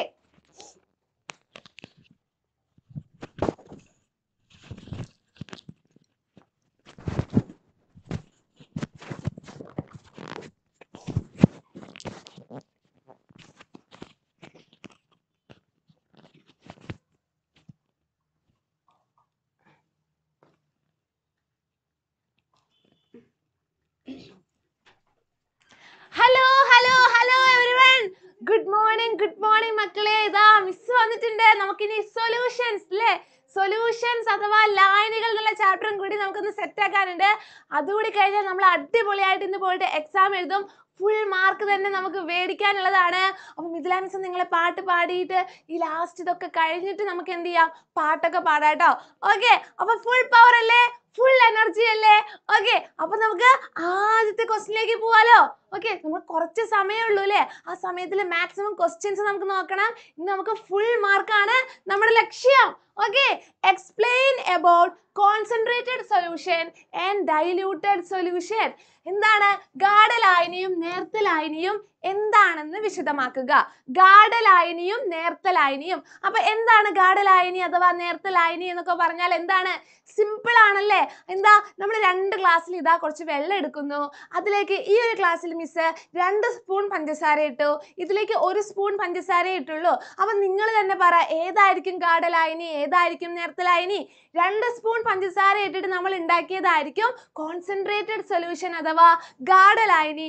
ഒരു സ്പൂൺ ഇട്ട് ഇട്ടത് ഉണ്ടാക്കിയതായിരിക്കും നേർത്ത ലായനി അല്ലെ? ഡൈല്യൂട്ട് സൊല്യൂഷൻ എന്ന് പറയുന്നത്. അപ്പൊ ഇത്രയേ ഉള്ളൂ നമ്മുടെ സൊല്യൂഷന്റെ കോൺസെൻട്രേഷൻ എന്ന് പറഞ്ഞു കഴിഞ്ഞാൽ എന്താണ്? അതിലുള്ള സൊല്യൂട്ടിന്റെ എമൗണ്ട് ആണ് അല്ലേ? The amount of solute dissolved ആണ്. The amount of solute dissolved in a fixed amount of solvent അതിനെയാണ് നമ്മൾ കോൺസെൻട്രേഷൻ എന്ന് പറയുന്നത് അപ്പൊ എന്താ? ഒരു നിശ്ചിത അളവ് ലായനിയിൽ ലയിച്ചു ചേർന്ന ലീനത്തിന്റെ അളവാണ് നമ്മുടെ ലായനിയുടെ ഗാഠത അപ്പൊ നേർത്ത ലായനി എന്ന് പറഞ്ഞാൽ കുറവ് എമൗണ്ട് സൊല്യൂട്ട് മാത്രമേ ഡിസോൾവ് ആയിട്ടുണ്ടാവുള്ളൂ. ഗാഠ ലായനി എന്ന് പറഞ്ഞാലോ കുറേ ലാർജ് എമൗണ്ട് സൊല്യൂട്ട് നമ്മൾ ഡിസോൾവ് ചെയ്തിട്ടുണ്ടെങ്കിൽ അല്ലേ? ആ കുറേ എമൗണ്ട് ലീനം ലയിച്ച് ചേർന്നിട്ടുണ്ടെങ്കിൽ അതാണ് ഗാഠലായനി കോൺസെൻട്രേറ്റഡ് സൊല്യൂഷൻ എക്സാമിന് ചോദിക്കും ക്ലിയർ ആണല്ലോ? സെറ്റ് ആണല്ലോ? ഫുൾ പവർ ആണല്ലോ? എന്നാൽ കുറച്ച് ഫയർ ഒക്കെ ഇട്ടെ കുറച്ച് ഫയർ ഒക്കെ ഇട്ടെ. സോങ് മിസ് അടിപൊളിയാണ്. ഓക്കെ അപ്പൊ ഇതാ നമുക്ക് അടുത്ത ക്വസ്റ്റിലേക്ക് പോവാം. അടുത്ത ക്വസ്റ്റ്യൻ എന്താണ്? A saturated solution is prepared by dissolving salt in water നമ്മൾ ഉപ്പ് വെള്ളത്തിൽ ലയിപ്പിച്ചിട്ട് എന്തുണ്ടാക്കി? ഒരു പൂരിത ലായനി സാച്ചുറേറ്റഡ് സൊല്യൂഷൻ പൂരിത ലായനി നമ്മൾ തയ്യാറാക്കി. What do you mean by saturated solution sure question ആണ്. പൂരിത ലായനി എന്താണെന്ന് എക്സാമിൽ ചോദിക്കും. സാച്ചുറേറ്റഡ് സൊല്യൂഷൻ എന്താണെന്ന് ചോദിക്കും. എന്താണ് സാച്ചുറേറ്റഡ് സൊല്യൂഷൻ നമ്മൾ അടിപൊളിയായിട്ട് ഉണ്ടാക്കിയതായിരുന്നു. നമ്മുടെ ക്ലാസ് എടുക്കുമ്പോൾ എങ്ങനെ ഉണ്ടാക്കിയത്? ഒരു ക്ലാസ്സിൽ വെള്ളം എടുത്തു ഇപ്പോൾ ഉപ്പിന്റെ ആണ് മിസ് ഉണ്ടാക്കുന്നതെങ്കിൽ മിസ് എന്ത് ചെയ്യും? കുറച്ച് ഉപ്പിടും കലക്കും വീണ്ടും ഉപ്പിടും കലക്കും. അങ്ങനെ അങ്ങനെ നമ്മൾ കുറേശ്ശെ കുറേശ്ശെ സോൾട്ട് ഡിസോൾവ് ചെയ്ത് ഡിസോൾവ് ചെയ്ത് ലാസ്റ്റ് നമ്മൾ എവിടേക്ക് എത്തും? നമ്മൾ ഇടുന്ന ഉപ്പ് ആ കലങ്ങാതെ ഡിസോൾവ് ചെയ്യാതെ ഇരിക്കുന്ന ഒരു സ്റ്റേറ്റിലേക്ക് നമ്മൾ എത്തൂലേ അതാണ് നമ്മുടെ പൂരിത ലായനിയുടെ സ്റ്റേറ്റ് നമ്മുടെ സാച്ചുറേറ്റഡ് സൊല്യൂഷന്റെ സ്റ്റേറ്റ് ഓക്കെ എന്താണ്? മാക്സിമം എമൗണ്ട് അത് തന്നെയാണ് point maximum amount solute dissolve ചെയ്താൽ നമുക്ക് കിട്ടുന്ന ലായനിയാണ് എന്ത്? സാച്ചുറേറ്റഡ് സൊല്യൂഷൻ അപ്പൊ മലയാളത്തിൽ മാക്സിമം പരമാവധി ലീനം. പരമാവധി ലീനം ലയിച്ചു ചേർന്ന ലായനിയാണ് പൂരിത ലായനി. ഇനി നിങ്ങൾക്ക് പഠിക്കേണ്ട ഇത്രയേ ഉള്ളൂ. പരമാവധി ലീനം ലയിച്ചു ചേർന്ന ലായനിയാണ് പൂരിത ലായനി അഥവാ സാച്ചുറേറ്റഡ് സൊല്യൂഷൻ എന്ന് പറയുന്നത്. അടുത്ത ക്വസ്റ്റ്യൻ നോക്കിക്കേ അടുത്ത ക്വസ്റ്റ്യൻ നോക്കിക്കേ. എല്ലാവരും ഉഷാറല്ലേ? അങ്ങനെയാണെങ്കിൽ അടുത്ത ക്വസ്റ്റ്യൻ നോക്കിക്കേ. Suggest method to dissolve more salt in the saturated solution ഇപ്പൊ സാച്ചുറേറ്റഡ് സൊല്യൂഷനിൽ പരമാവധി ലീനം ലയിച്ചു. പരമാവധി സൊല്യൂട്ട് ഡിസോൾവ് ആയിട്ടുള്ളതാണ്. പിന്നെ നമ്മൾ ആഡ് ചെയ്യണത് എന്താവില്ല あ! ഡിസോൾവ് ആകില്ല എന്ന് മക്കൾക്ക് അറിയാലോ? അപ്പൊ ഞാൻ നിങ്ങളോട് ചോദിക്കുകയാണ് എനിക്കൊരു മെത്തേഡ് പറഞ്ഞു തരുമോ? ഈ സാച്ചുറേറ്റഡ് സൊല്യൂഷനിലേക്ക് എനിക്ക് ഇനിയും സൊല്യൂട്ട് ഇട്ട് ഡിസോൾവ് ചെയ്യണം. ഓക്കെ ഇനിയും എനിക്ക് ലീനം ഇട്ടിട്ട് ഡിസോൾവ് ചെയ്യണം ലയിപ്പിക്കണം. അപ്പൊ നിങ്ങൾ എന്ത് പറഞ്ഞു തരും എനിക്ക്? എന്ത് മെത്തേഡാണ് നിങ്ങൾ എനിക്ക് നിർദ്ദേശിക്കുക? ആ മിസ്സേ സാച്ചുറേറ്റഡ് സൊല്യൂഷനെ കൊണ്ടുപോയിട്ട് അന്ന് ചൂടാക്കൂ എന്ന് പറയൂലേ നിങ്ങൾ ആ സാച്ചുറേറ്റഡ് സൊല്യൂഷനെ നമ്മൾ ഹീറ്റ് ചെയ്യിച്ചാൽ വീണ്ടും നമുക്ക് അതിലേക്ക് എന്തിടാൻ പറ്റും? സൊല്യൂട്ടിനെ ലീനത്തെ ഇട്ടിട്ട് ഡിസോൾവ് ചെയ്യിപ്പിക്കാനായിട്ട് പറ്റും അല്ലേ അപ്പൊ അത് തന്നെയാണ് മെത്തേഡ് നമ്മൾ എന്ത് ചെയ്താൽ മതി? ഹീറ്റ് ചെയ്താൽ മതി. അല്ലെ? ഹീറ്റ് ചെയ്താൽ മതി. സാച്ചുറേറ്റഡ് സൊല്യൂഷനെ ഹീറ്റ് ചെയ്താൽ അതിലേക്ക് വീണ്ടും നമുക്ക് സൊല്യൂട്ട് ഇട്ട് ഡിസോൾവ് ചെയ്യിക്കാം. വീണ്ടും നമുക്ക് ലീനം ഇട്ടിട്ട് ഡിസോൾവ് ചെയ്യിപ്പിക്കാൻ പറ്റും. അങ്ങനെ കിട്ടുന്ന ലായനിക്ക് നമ്മളൊരു പേര് പറയൂലോ അങ്ങനെ കിട്ടുന്ന ലായനിയാണ് അതിപൂരിത ലായനി മറന്നു പോവരുത് അതിപൂരിത ലായനി അഥവാ സൂപ്പർ സാച്ചുറേറ്റഡ് സൊല്യൂഷൻ അപ്പോൾ ഒരു സൂപ്പർ സാച്ചുറേറ്റഡ് സൊല്യൂഷൻ നമ്മൾ എങ്ങനെയാ പ്രിപ്പയർ ചെയ്യുക? എങ്ങനെയാ പ്രിപ്പയർ ചെയ്യുക? ഇതാ നമ്മുടെ സാച്ചുറേറ്റഡ് സൊല്യൂഷൻ ഇരിക്കുന്നു. ഇതിനെ നമ്മൾ ഇവിടെ ചൂടാക്കുന്നു. ചൂടാക്കുമ്പോൾ നിങ്ങൾക്ക് ഇതിലേക്ക് വീണ്ടും വീണ്ടും സൊല്യൂട്ട് ഇട്ട് ഡിസോൾവ് ചെയ്യിക്കാൻ പറ്റും. അങ്ങനെ കിട്ടുന്ന ഈ ഒരു സൊല്യൂഷൻ ആണ് സൂപ്പർ സാച്ചുറേറ്റഡ് സൊല്യൂഷൻ അഥവാ അതിപൂരിത ലായനി എന്ന് പറയുന്നത്. ഇനി ഈ സൊല്യൂഷനെ നമ്മൾ കൂൾ ചെയ്യുകയാണ് തണുപ്പിക്കുകയാണ്. അപ്പൊ എന്ത് സംഭവിക്കും? എന്ത് സംഭവിക്കും? നമ്മൾ ഇട്ടിട്ടുള്ള സൊല്യൂട്ട് ഉണ്ടല്ലോ അത് ക്രിസ്റ്റലൈസ് ചെയ്യും. ക്രിസ്റ്റലൈസേഷൻ മലയാളത്തിൽ അവക്ഷിപ്തപ്പെടും എന്ന് പറയാം. ഓക്കെ അവക്ഷിപ്തപ്പെടും അതാണ് സംഭവിക്കുന്ന കാര്യം. ഓക്കെ അപ്പൊ അതിപൂരിത ലായനി എന്ന് പറഞ്ഞാൽ പൂരിതമാക്കാൻ ആവശ്യമായതിലും അധികം ലീനം ലയിച്ചു ചേർന്ന ലായനി മറക്കരുത്. പൂരിതമാക്കാൻ ആവശ്യമായതിലും അധികം ലീനം ലയിച്ചു ചേർന്ന ലായനി അതിനെ തണുപ്പിക്കുമ്പോൾ ലീനങ്ങൾ അവക്ഷിപ്തപ്പെടുന്നു ലീനം അവക്ഷിപ്തപ്പെടുന്നു ക്രിസ്റ്റലൈസ് ചെയ്യുന്നു എന്ന് പറയാം അല്ലെ? ഓക്കെ അപ്പൊ എന്താ? സൊല്യൂഷൻ വെച്ച് contain more amount of solute കുറേ സൊല്യൂട്ട് അടങ്ങിയിട്ടുള്ള ലായനിയാണ് എന്തിനു വേണ്ടി സാച്ചുറേഷൻ പോയിന്റും കഴിഞ്ഞിട്ട് അല്ലേ പൂരിത ലായനിയുടെ അവസ്ഥയും കഴിഞ്ഞ് കൂടുതൽ എമൗണ്ട് സൊല്യൂട്ട് അടങ്ങിയിട്ടുള്ളതാണ് സൂപ്പർ സാച്ചുറേറ്റഡ് സൊല്യൂഷൻ ക്ലിയർ ആണല്ലോ? ക്ലിയർ ആണല്ലോ? അപ്പൊ അത്രയേ ഉള്ളൂ സാച്ചുറേറ്റഡും സൂപ്പർ സാച്ചുറേറ്റഡും അപ്പോൾ ഒരെണ്ണം കൂടി ഉണ്ട് മിസ് അതും കൂടി നിങ്ങളൊന്ന് ഓർമ്മിപ്പിക്കാം. അൺസാച്ചുറേറ്റഡ് കൂടി ഉണ്ട് അല്ലേ അൺസാച്ചുറേറ്റഡ് കൂടി ഉണ്ട്. അൺസാച്ചുറേറ്റഡ് അൺസാച്ചുറേറ്റഡ് സൊല്യൂഷൻ കൂടി നിങ്ങളൊന്ന് നോക്കിക്കോ. അൺസാച്ചുറേറ്റഡ് എന്ന് പറഞ്ഞാൽ എന്താ? അപൂരിത ലായനി അല്ലെ മലയാളത്തിൽ നമ്മൾ എന്ത് പറയും? അപൂരിത ലായനി എന്നാണ് നമ്മൾ പറയാ. അപൂരിത ലായനി എന്താ? ഇപ്പൊ ഇതാ നിങ്ങൾ സാൾട്ട് അല്ലെ ഉപ്പ് വെള്ളം ഉണ്ടാക്കണം. ഉപ്പിന്റെ പൂരിത ലായനി ഉണ്ടാക്കുകയാണ് മക്കൾ. അപ്പൊ നിങ്ങൾ ഇതിലേക്ക് ഇങ്ങനെ സോൾട്ട് ഇട്ടുകൊണ്ടിരിക്കുമ്പോൾ ഇതിങ്ങനെ ഡിസോൾവ് ആകുന്ന ഒരു അവസ്ഥ ഉണ്ട് അല്ലേ ആ ഇടുന്ന സോൾട്ട് ഇങ്ങനെ ലയിച്ച് ലയിച്ച് ലയിച്ച് പോയിക്കൊണ്ടിരിക്കുകയാണ്. അതായത് ഇത് സാച്ചുറേഷൻ എത്തിയിട്ടില്ല. അതിന് മുന്നേ ഉള്ള അവസ്ഥ. പൂരിതമായിട്ടില്ല അല്ലെ അതിന് മുന്നേ ഉള്ള അവസ്ഥ എന്താണ്? അൺസാച്ചുറേറ്റഡ് ആണ്. അൺസാച്ചുറേറ്റഡ് സൊല്യൂഷൻ ആണ്. സെറ്റ് ആണോ? എല്ലാവർക്കും ഇതുവരെ പറഞ്ഞതൊക്കെ ക്ലിയർ ആണെങ്കിൽ വേഗം കുറച്ച് ഹാർട്ടൊക്കെ ഇട്ടെ നമ്മുടെ കമന്റ് ബോക്സ് കുറച്ച് ഹാർട്ടൊക്കെ കണ്ടാൽ മിസ്സിന് മനസ്സിലാവും നിങ്ങൾക്കൊക്കെ ക്ലിയർ ആയി എന്ന് ഓക്കെ അപ്പം ലൈക്ക് ചെയ്യാനൊന്നും ആരും മറക്കരുത്. ലൈക്കൊക്കെ നിങ്ങൾ നിങ്ങൾ ലൈക്കൊക്കെ ചെയ്ത് വെക്കുക കേട്ടോ. ഓക്കെ അല്ലേ? എന്നാൽ ഇതാ അടുത്ത ക്വസ്റ്റ്യൻ നോക്കിക്കേ. ഇവിടെ ഒരു ക്വസ്റ്റ്യൻ നമ്മൾ മിസ്സായി ഓക്കെ അടുത്ത ക്വസ്റ്റ്യൻ നോക്കിക്കേ. Ink muddy water fog atmospheric air milk sugar solution dilute rice water classify them into true solution colloids and suspensions അപ്പൊ മലയാളത്തിൽ നമ്മൾ എന്ത് തന്നെയാ പറയാ? കൊളോയിഡുകൾ എന്നും സസ്പെൻഷനുകൾ എന്ന് തന്നെയാണ് പറയാ. ട്രൂ സൊല്യൂഷനെ നമ്മൾ യഥാർത്ഥ ലായനി എന്നാണ് പറയാ കേട്ടോ. അപ്പൊ യഥാർത്ഥ യഥാർത്ഥ ലായനി എന്നാണ് പറയാ. അപ്പൊ നിങ്ങൾ വേഗം ക്ലാസിഫൈ ചെയ്തേ. ഇങ്ങനെ എക്സാമിന് ചോദിക്കും. കുറച്ച് തന്നിട്ട് ട്രൂ സൊല്യൂഷൻസ് കൊളോയിഡ് സസ്പെൻഷൻസ് എന്ന് ക്ലാസിഫൈ ചെയ്യാൻ. അപ്പൊ ട്രൂ സൊല്യൂഷൻസ് ഏതാ? ഇങ്ക് എന്താ മക്കളെ? മിക്സ് വേഗം വേഗം എഴുതാ. ഇങ്ക് കൊളോയിഡ് ആണ്. Muddy water muddy water suspension ആണ്. അടുത്തത് ഫോഗ് ഫോഗ് എന്താ? കൊളോയിഡ് ആണ്. അറ്റ്മോസ്ഫിയറിക് എയർ ട്രൂ സൊല്യൂഷൻ ആണ് കേട്ടോ അറ്റ്മോസ്ഫിയറിക് എയർ ട്രൂ സൊല്യൂഷൻ ആണ്. മിൽക്ക് മിൽക്ക് കൊളോയിഡ് ആണ്. Sugar solution sugar solution true solution ആണ്. ഷുഗർ സൊല്യൂഷൻ ഓക്കെ അടുത്തത് എന്താ? ഡൈലൂട്ട് റൈസ് വാട്ടർ കൊളോയിഡ് ആണ്. Okay dilute rice water okay അപ്പൊ ഇത് നിങ്ങൾ ഓർത്ത് വെക്കുക. എക്സാമിന് ഷുവർ ആയിട്ട് ചോദിക്കും. True solutions colloids and suspensions set ആണല്ലോ? സെറ്റ് ആണല്ലോ? സെറ്റ് ആണല്ലോ? ഓക്കെ ഓക്കെ ഓക്കെ എന്നിട്ട് നോക്കിക്കേ. Which are the chemical substance use to prevent settling down of particles in juices ജ്യൂസുകളിൽ അതിന്റെ കണികകൾ അടിയുന്നത് തടയാനായിട്ട് അതിൽ ചേർക്കുന്ന രാസവസ്തു ഏതാണ്? വേഗം ആൻസർ ചെയ്തേ. ഏത് രാസവസ്തു ആണ് നമ്മൾ ജ്യൂസുകളിൽ ചേർക്കുക? അതിലെ കണികകൾ അടിയാതിരിക്കാൻ. ആ ഒരാളുണ്ട് ഒരാളുണ്ട്. മറക്കരുത്. സ്റ്റെബിലൈസർ ഓക്കെ സ്റ്റെബിലൈസേഴ്സ് ആണ്. അപ്പൊ എന്താണ് സ്റ്റെബിലൈസേഴ്സ് സോഫ്റ്റ് ഡ്രിങ്കുകൾ എന്ന് പറഞ്ഞാൽ liquids in the colloidal form ആണ്. കൊളോയിഡ് രൂപത്തിലുള്ള പാനീയങ്ങളാണ് നമ്മുടെ ജ്യൂസുകൾ അപ്പൊ ഇതിൽ കണികകൾ അടിയുന്നത് തടയാനായി കൃത്രിമ പാനീയങ്ങളിൽ ചേർക്കുന്ന രാസവസ്തുവിനെയാണ് സ്റ്റെബിലൈസറുകൾ എന്ന് പറയുന്നത്.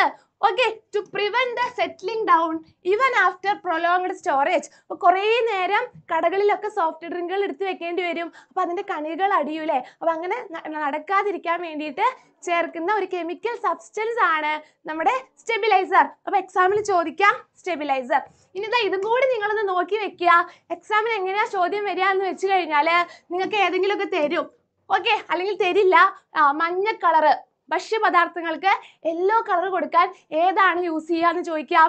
അല്ലെങ്കിൽ സുഗന്ധത്തിന് പൈനാപ്പിളിന്റെ മണം കിട്ടാൻ ഏത് രാസവസ്തുവ യൂസ് ചെയ്യാന്നൊക്കെ വൺ മാർക്കിന് ചോദിക്കാം. അപ്പൊ മക്കൾ ഓർത്ത് വെച്ചോ ടാർട്രസിൻ ആ നാക്ക് കടിച്ച്.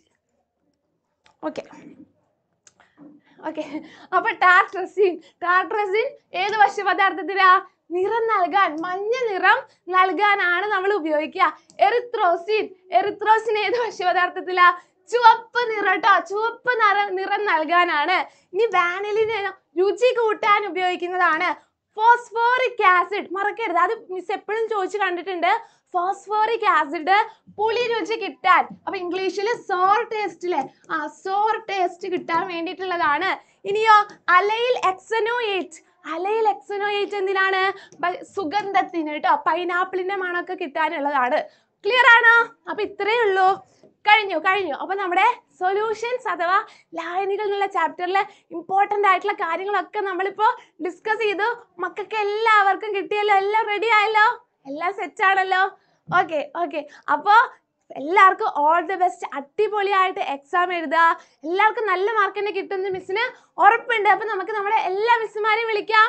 നിങ്ങൾക്കൊക്കെ ബ്ലെസ്സിങ്സ് തരാനല്ലേ? ആ അപ്പൊ നമുക്ക് എല്ലാ മിസ്സുമാരെയും വിളിക്കാം. മിഥുല മിസ്സേ Mithula miss Mithula miss Mithula miss ഇപ്പൊ വരാം. വാ. എല്ലാരും. കഴിഞ്ഞു. വാ എല്ലാരും വരൂ വരൂ മിസ് വന്ന് വിളിക്കുന്നുണ്ടായിരുന്നു. അപ്പതാ അപ്പതാ മക്കളെ എല്ലാ മക്കൾക്കും all the best all the best all the best അല്ലേ? നമ്മൾ. അതെ എല്ലാവർക്കും മൈക്ക് മിസ് ഞങ്ങളൊന്ന് പറഞ്ഞോട്ടെ? ഒരു ഒരു മുപ്പത് second okay okay Saranya miss അപ്പൊ നമ്മൾ അടിപൊളിയായിട്ട് ഒരു ബൂസ്റ്റർ അല്ലെ? ബൂസ്റ്റ് കുടിച്ച പോലെ നമ്മളൊരു ബൂസ്റ്റർ ബൂസ്റ്റർ ഡോസ് അതെ. ബയോളജി കെമിസ്ട്രി ഫിസിക്സ് നമ്മൾ അടിപൊളി അടിച്ച് രണ്ട് ദിവസം കൊണ്ട് ഫുള്ള് സെറ്റ് ആക്കി അല്ലെ? അല്ലേ മക്കളെ? അപ്പൊ നിങ്ങൾക്ക് എല്ലാവരും ഈ രണ്ട് ലൈവ് കഴിയുമ്പോൾ അടിപൊളിയായിട്ട് ഒരു കോൺഫിഡൻസ് വന്നിട്ടുണ്ടോ? ഉള്ളിൽ ഒരു വിശ്വാസം വന്നോ? ഇന്ന് ഞാൻ എക്സാമിൽ എക്സാമിന് പോകുമ്പോൾ ക്വസ്റ്റ്യൻ പേപ്പർ എന്താണ് കിട്ടുന്ന സമയത്ത് ഞാൻ ടീച്ചർ എടുത്തല്ലേ പെട്ടെന്ന് പെട്ടെന്ന് എണീച്ചു മിസ് എനിക്ക് പേപ്പർ എനിക്ക് പേപ്പർ എനിക്ക് പേപ്പർ എന്ന് പറയണം. എന്നിട്ട് ഫുൾ ഫുൾ എഴുതി കൊടുക്കണം. അപ്പൊ എല്ലാവരും ഇങ്ങനെ നോക്കണം. അതെ. അതെ അടുത്ത ഷീറ്റ് അപ്പൊ എന്നിട്ട് എല്ലാവരോടും പറയണം ഞങ്ങൾ എക്സാമിനറിന്റെ ക്ലാസ് കണ്ടിട്ടാണ് ഇത്രയും പേപ്പർ ഞങ്ങൾക്ക് വാങ്ങിച്ച് എഴുതാൻ വേണ്ടി പറ്റിയത് എന്ന് എന്റെ മക്കൾ പറയണം. എഴുതുന്നതൊക്കെ കറക്റ്റ് ആയിരിക്കും അതെ കറക്റ്റ് കറക്റ്റ് കൂടെ ആയിരിക്കണം കേട്ടോ. വെറുതെ നോക്കിയിട്ട് പാട്ടൊന്ന് പാട്ടൊക്കെ എഴുതിയൊക്കെ എത്ര മിഥുലാ മിസ് പാടിയ പാട്ട്. അതൊന്നും വരരുത് കേട്ടോ അപ്പൊ അനുശ്രീ മിസ് ഒക്കെ ഇവിടെ ഉണ്ട് അനുശ്രീ മിസ്സും ഗായത്രി മിസ് ഒക്കെ അപ്പുറത്തുണ്ട് കേട്ടോ അവർക്ക് ഇനിയും മക്കളെ പഠിപ്പിക്കാനുണ്ട്. അപ്പൊ അവർ അതിന്റെ ഓട്ടത്തിലാണ്. അപ്പൊ എന്തായാലും ശരി. അങ്ങനെയാണെങ്കിൽ അടുത്ത ക്ലാസ്സിൽ മിസ്സുമാര് പാട്ട് പാടി തരുന്നതായിരിക്കും ഉറപ്പാണല്ലേ ശ്രീ. മിസ് അപ്പൊ എക്സാം എഴുതി കഴിഞ്ഞിട്ട് നമ്മുടെ ആ ഈ ലൈവിന്റെ താഴെ വന്നിട്ട് കമന്റ് ചെയ്യാട്ടോ. ലൈവിന്റെ താഴെ വന്ന് കമന്റ് ചെയ്യാം. എങ്ങനെ ഉണ്ടായിരുന്നു എക്സാം അത് അടിപൊളിയായിരുന്നോ? നമ്മൾ ഡിസ്കസ് ചെയ്ത ക്വസ്റ്റ്യൻസ് വന്നോ? ടോപ്പിക്സ് വന്നോ? എന്നൊക്കെയുള്ള സിൻസിയർ ആയിട്ട് വന്നിട്ട് എന്തായാലും കമന്റ് ചെയ്യുക കാരണം ഞങ്ങൾക്ക് അറിയാം നിങ്ങൾ അത് കമന്റ് ചെയ്യുമ്പോഴാണ്. സെറ്റ് അല്ലേ? അപ്പൊ ആലപ്പുഴക്കാരുണ്ടോന്ന് ചോദിച്ചൊരു കമന്റ് എക്സാമിനറിലുണ്ട് ആലപ്പുഴക്കാരി ഉണ്ട്. മിസ് ആലപ്പുഴക്കാരിയാണ് കേട്ടോ. അപ്പൊ ഓക്കെ അങ്ങനെയാണെങ്കിൽ മക്കളെ എല്ലാവർക്കും ഓൾ ദ വെരി ബെസ്റ്റ് അപ്പൊ എല്ലാവരും അടിപൊളിയായിട്ട് എക്സാം എഴുതാൻ ഞങ്ങളുടെ എല്ലാവരുടെയും പ്രാർത്ഥനയുണ്ട്. അപ്പൊ നിങ്ങൾക്ക് ഈ ക്ലാസ് എങ്ങനെ ഉണ്ടായിരുന്നു ബൂസ്റ്റർ ബൂസ്റ്റ് ആയോ എന്നുള്ളത് കമന്റ് ചെയ്യേണ്ടതാണ്. ആൻഡ് ഓൾസോ എക്സാം കഴിഞ്ഞിട്ട് ഓടി വന്ന് ഈ ലൈവിന്റെ താഴെ പറയണേ യെസ് മിസ് നിങ്ങൾ പറഞ്ഞ ക്വസ്റ്റ്യൻസ് എല്ലാം വന്നു. ഇനി വന്നില്ലെങ്കിൽ നിങ്ങൾ പറയണേ നിങ്ങൾ പറഞ്ഞ ക്വസ്റ്റ്യൻസ് ഒന്നും വന്നില്ല. എന്തായാലും കുഴപ്പമില്ല. കൃത്യമായിട്ട് നിങ്ങൾ വന്നിട്ട് കമന്റ് ചെയ്യാൻ മറക്കരുത്. ഞങ്ങൾ നോക്ക്- നോക്കി നോക്കി നോക്കിയിരിക്കും. അടിപൊളിയായിട്ട് എക്സാം എഴുതാ. അപ്പൊ ചാച്ചാ ബൈ ബൈ